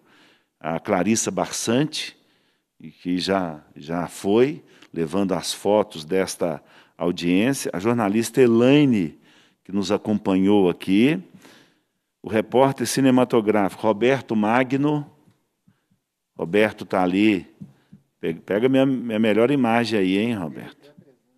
Hã? Ibirité é presente aqui, né? Falando em trem, ele está querendo trem para Ibirité, gente, quer vir de trem para Belo Horizonte. O auxiliar de câmara Otávio Fernandes, está ali o jovem Otávio, queria agradecer à Rádio Assembleia, a Rosângela Rabelo, a Sávia Moraes, o Flávio Júnior, Luiz Felipe Balona, Graziele Mendes, Ana Paula Ciribelli. Nosso time, hein? Só o goleiro que não é bom, o resto do time é fera, gente.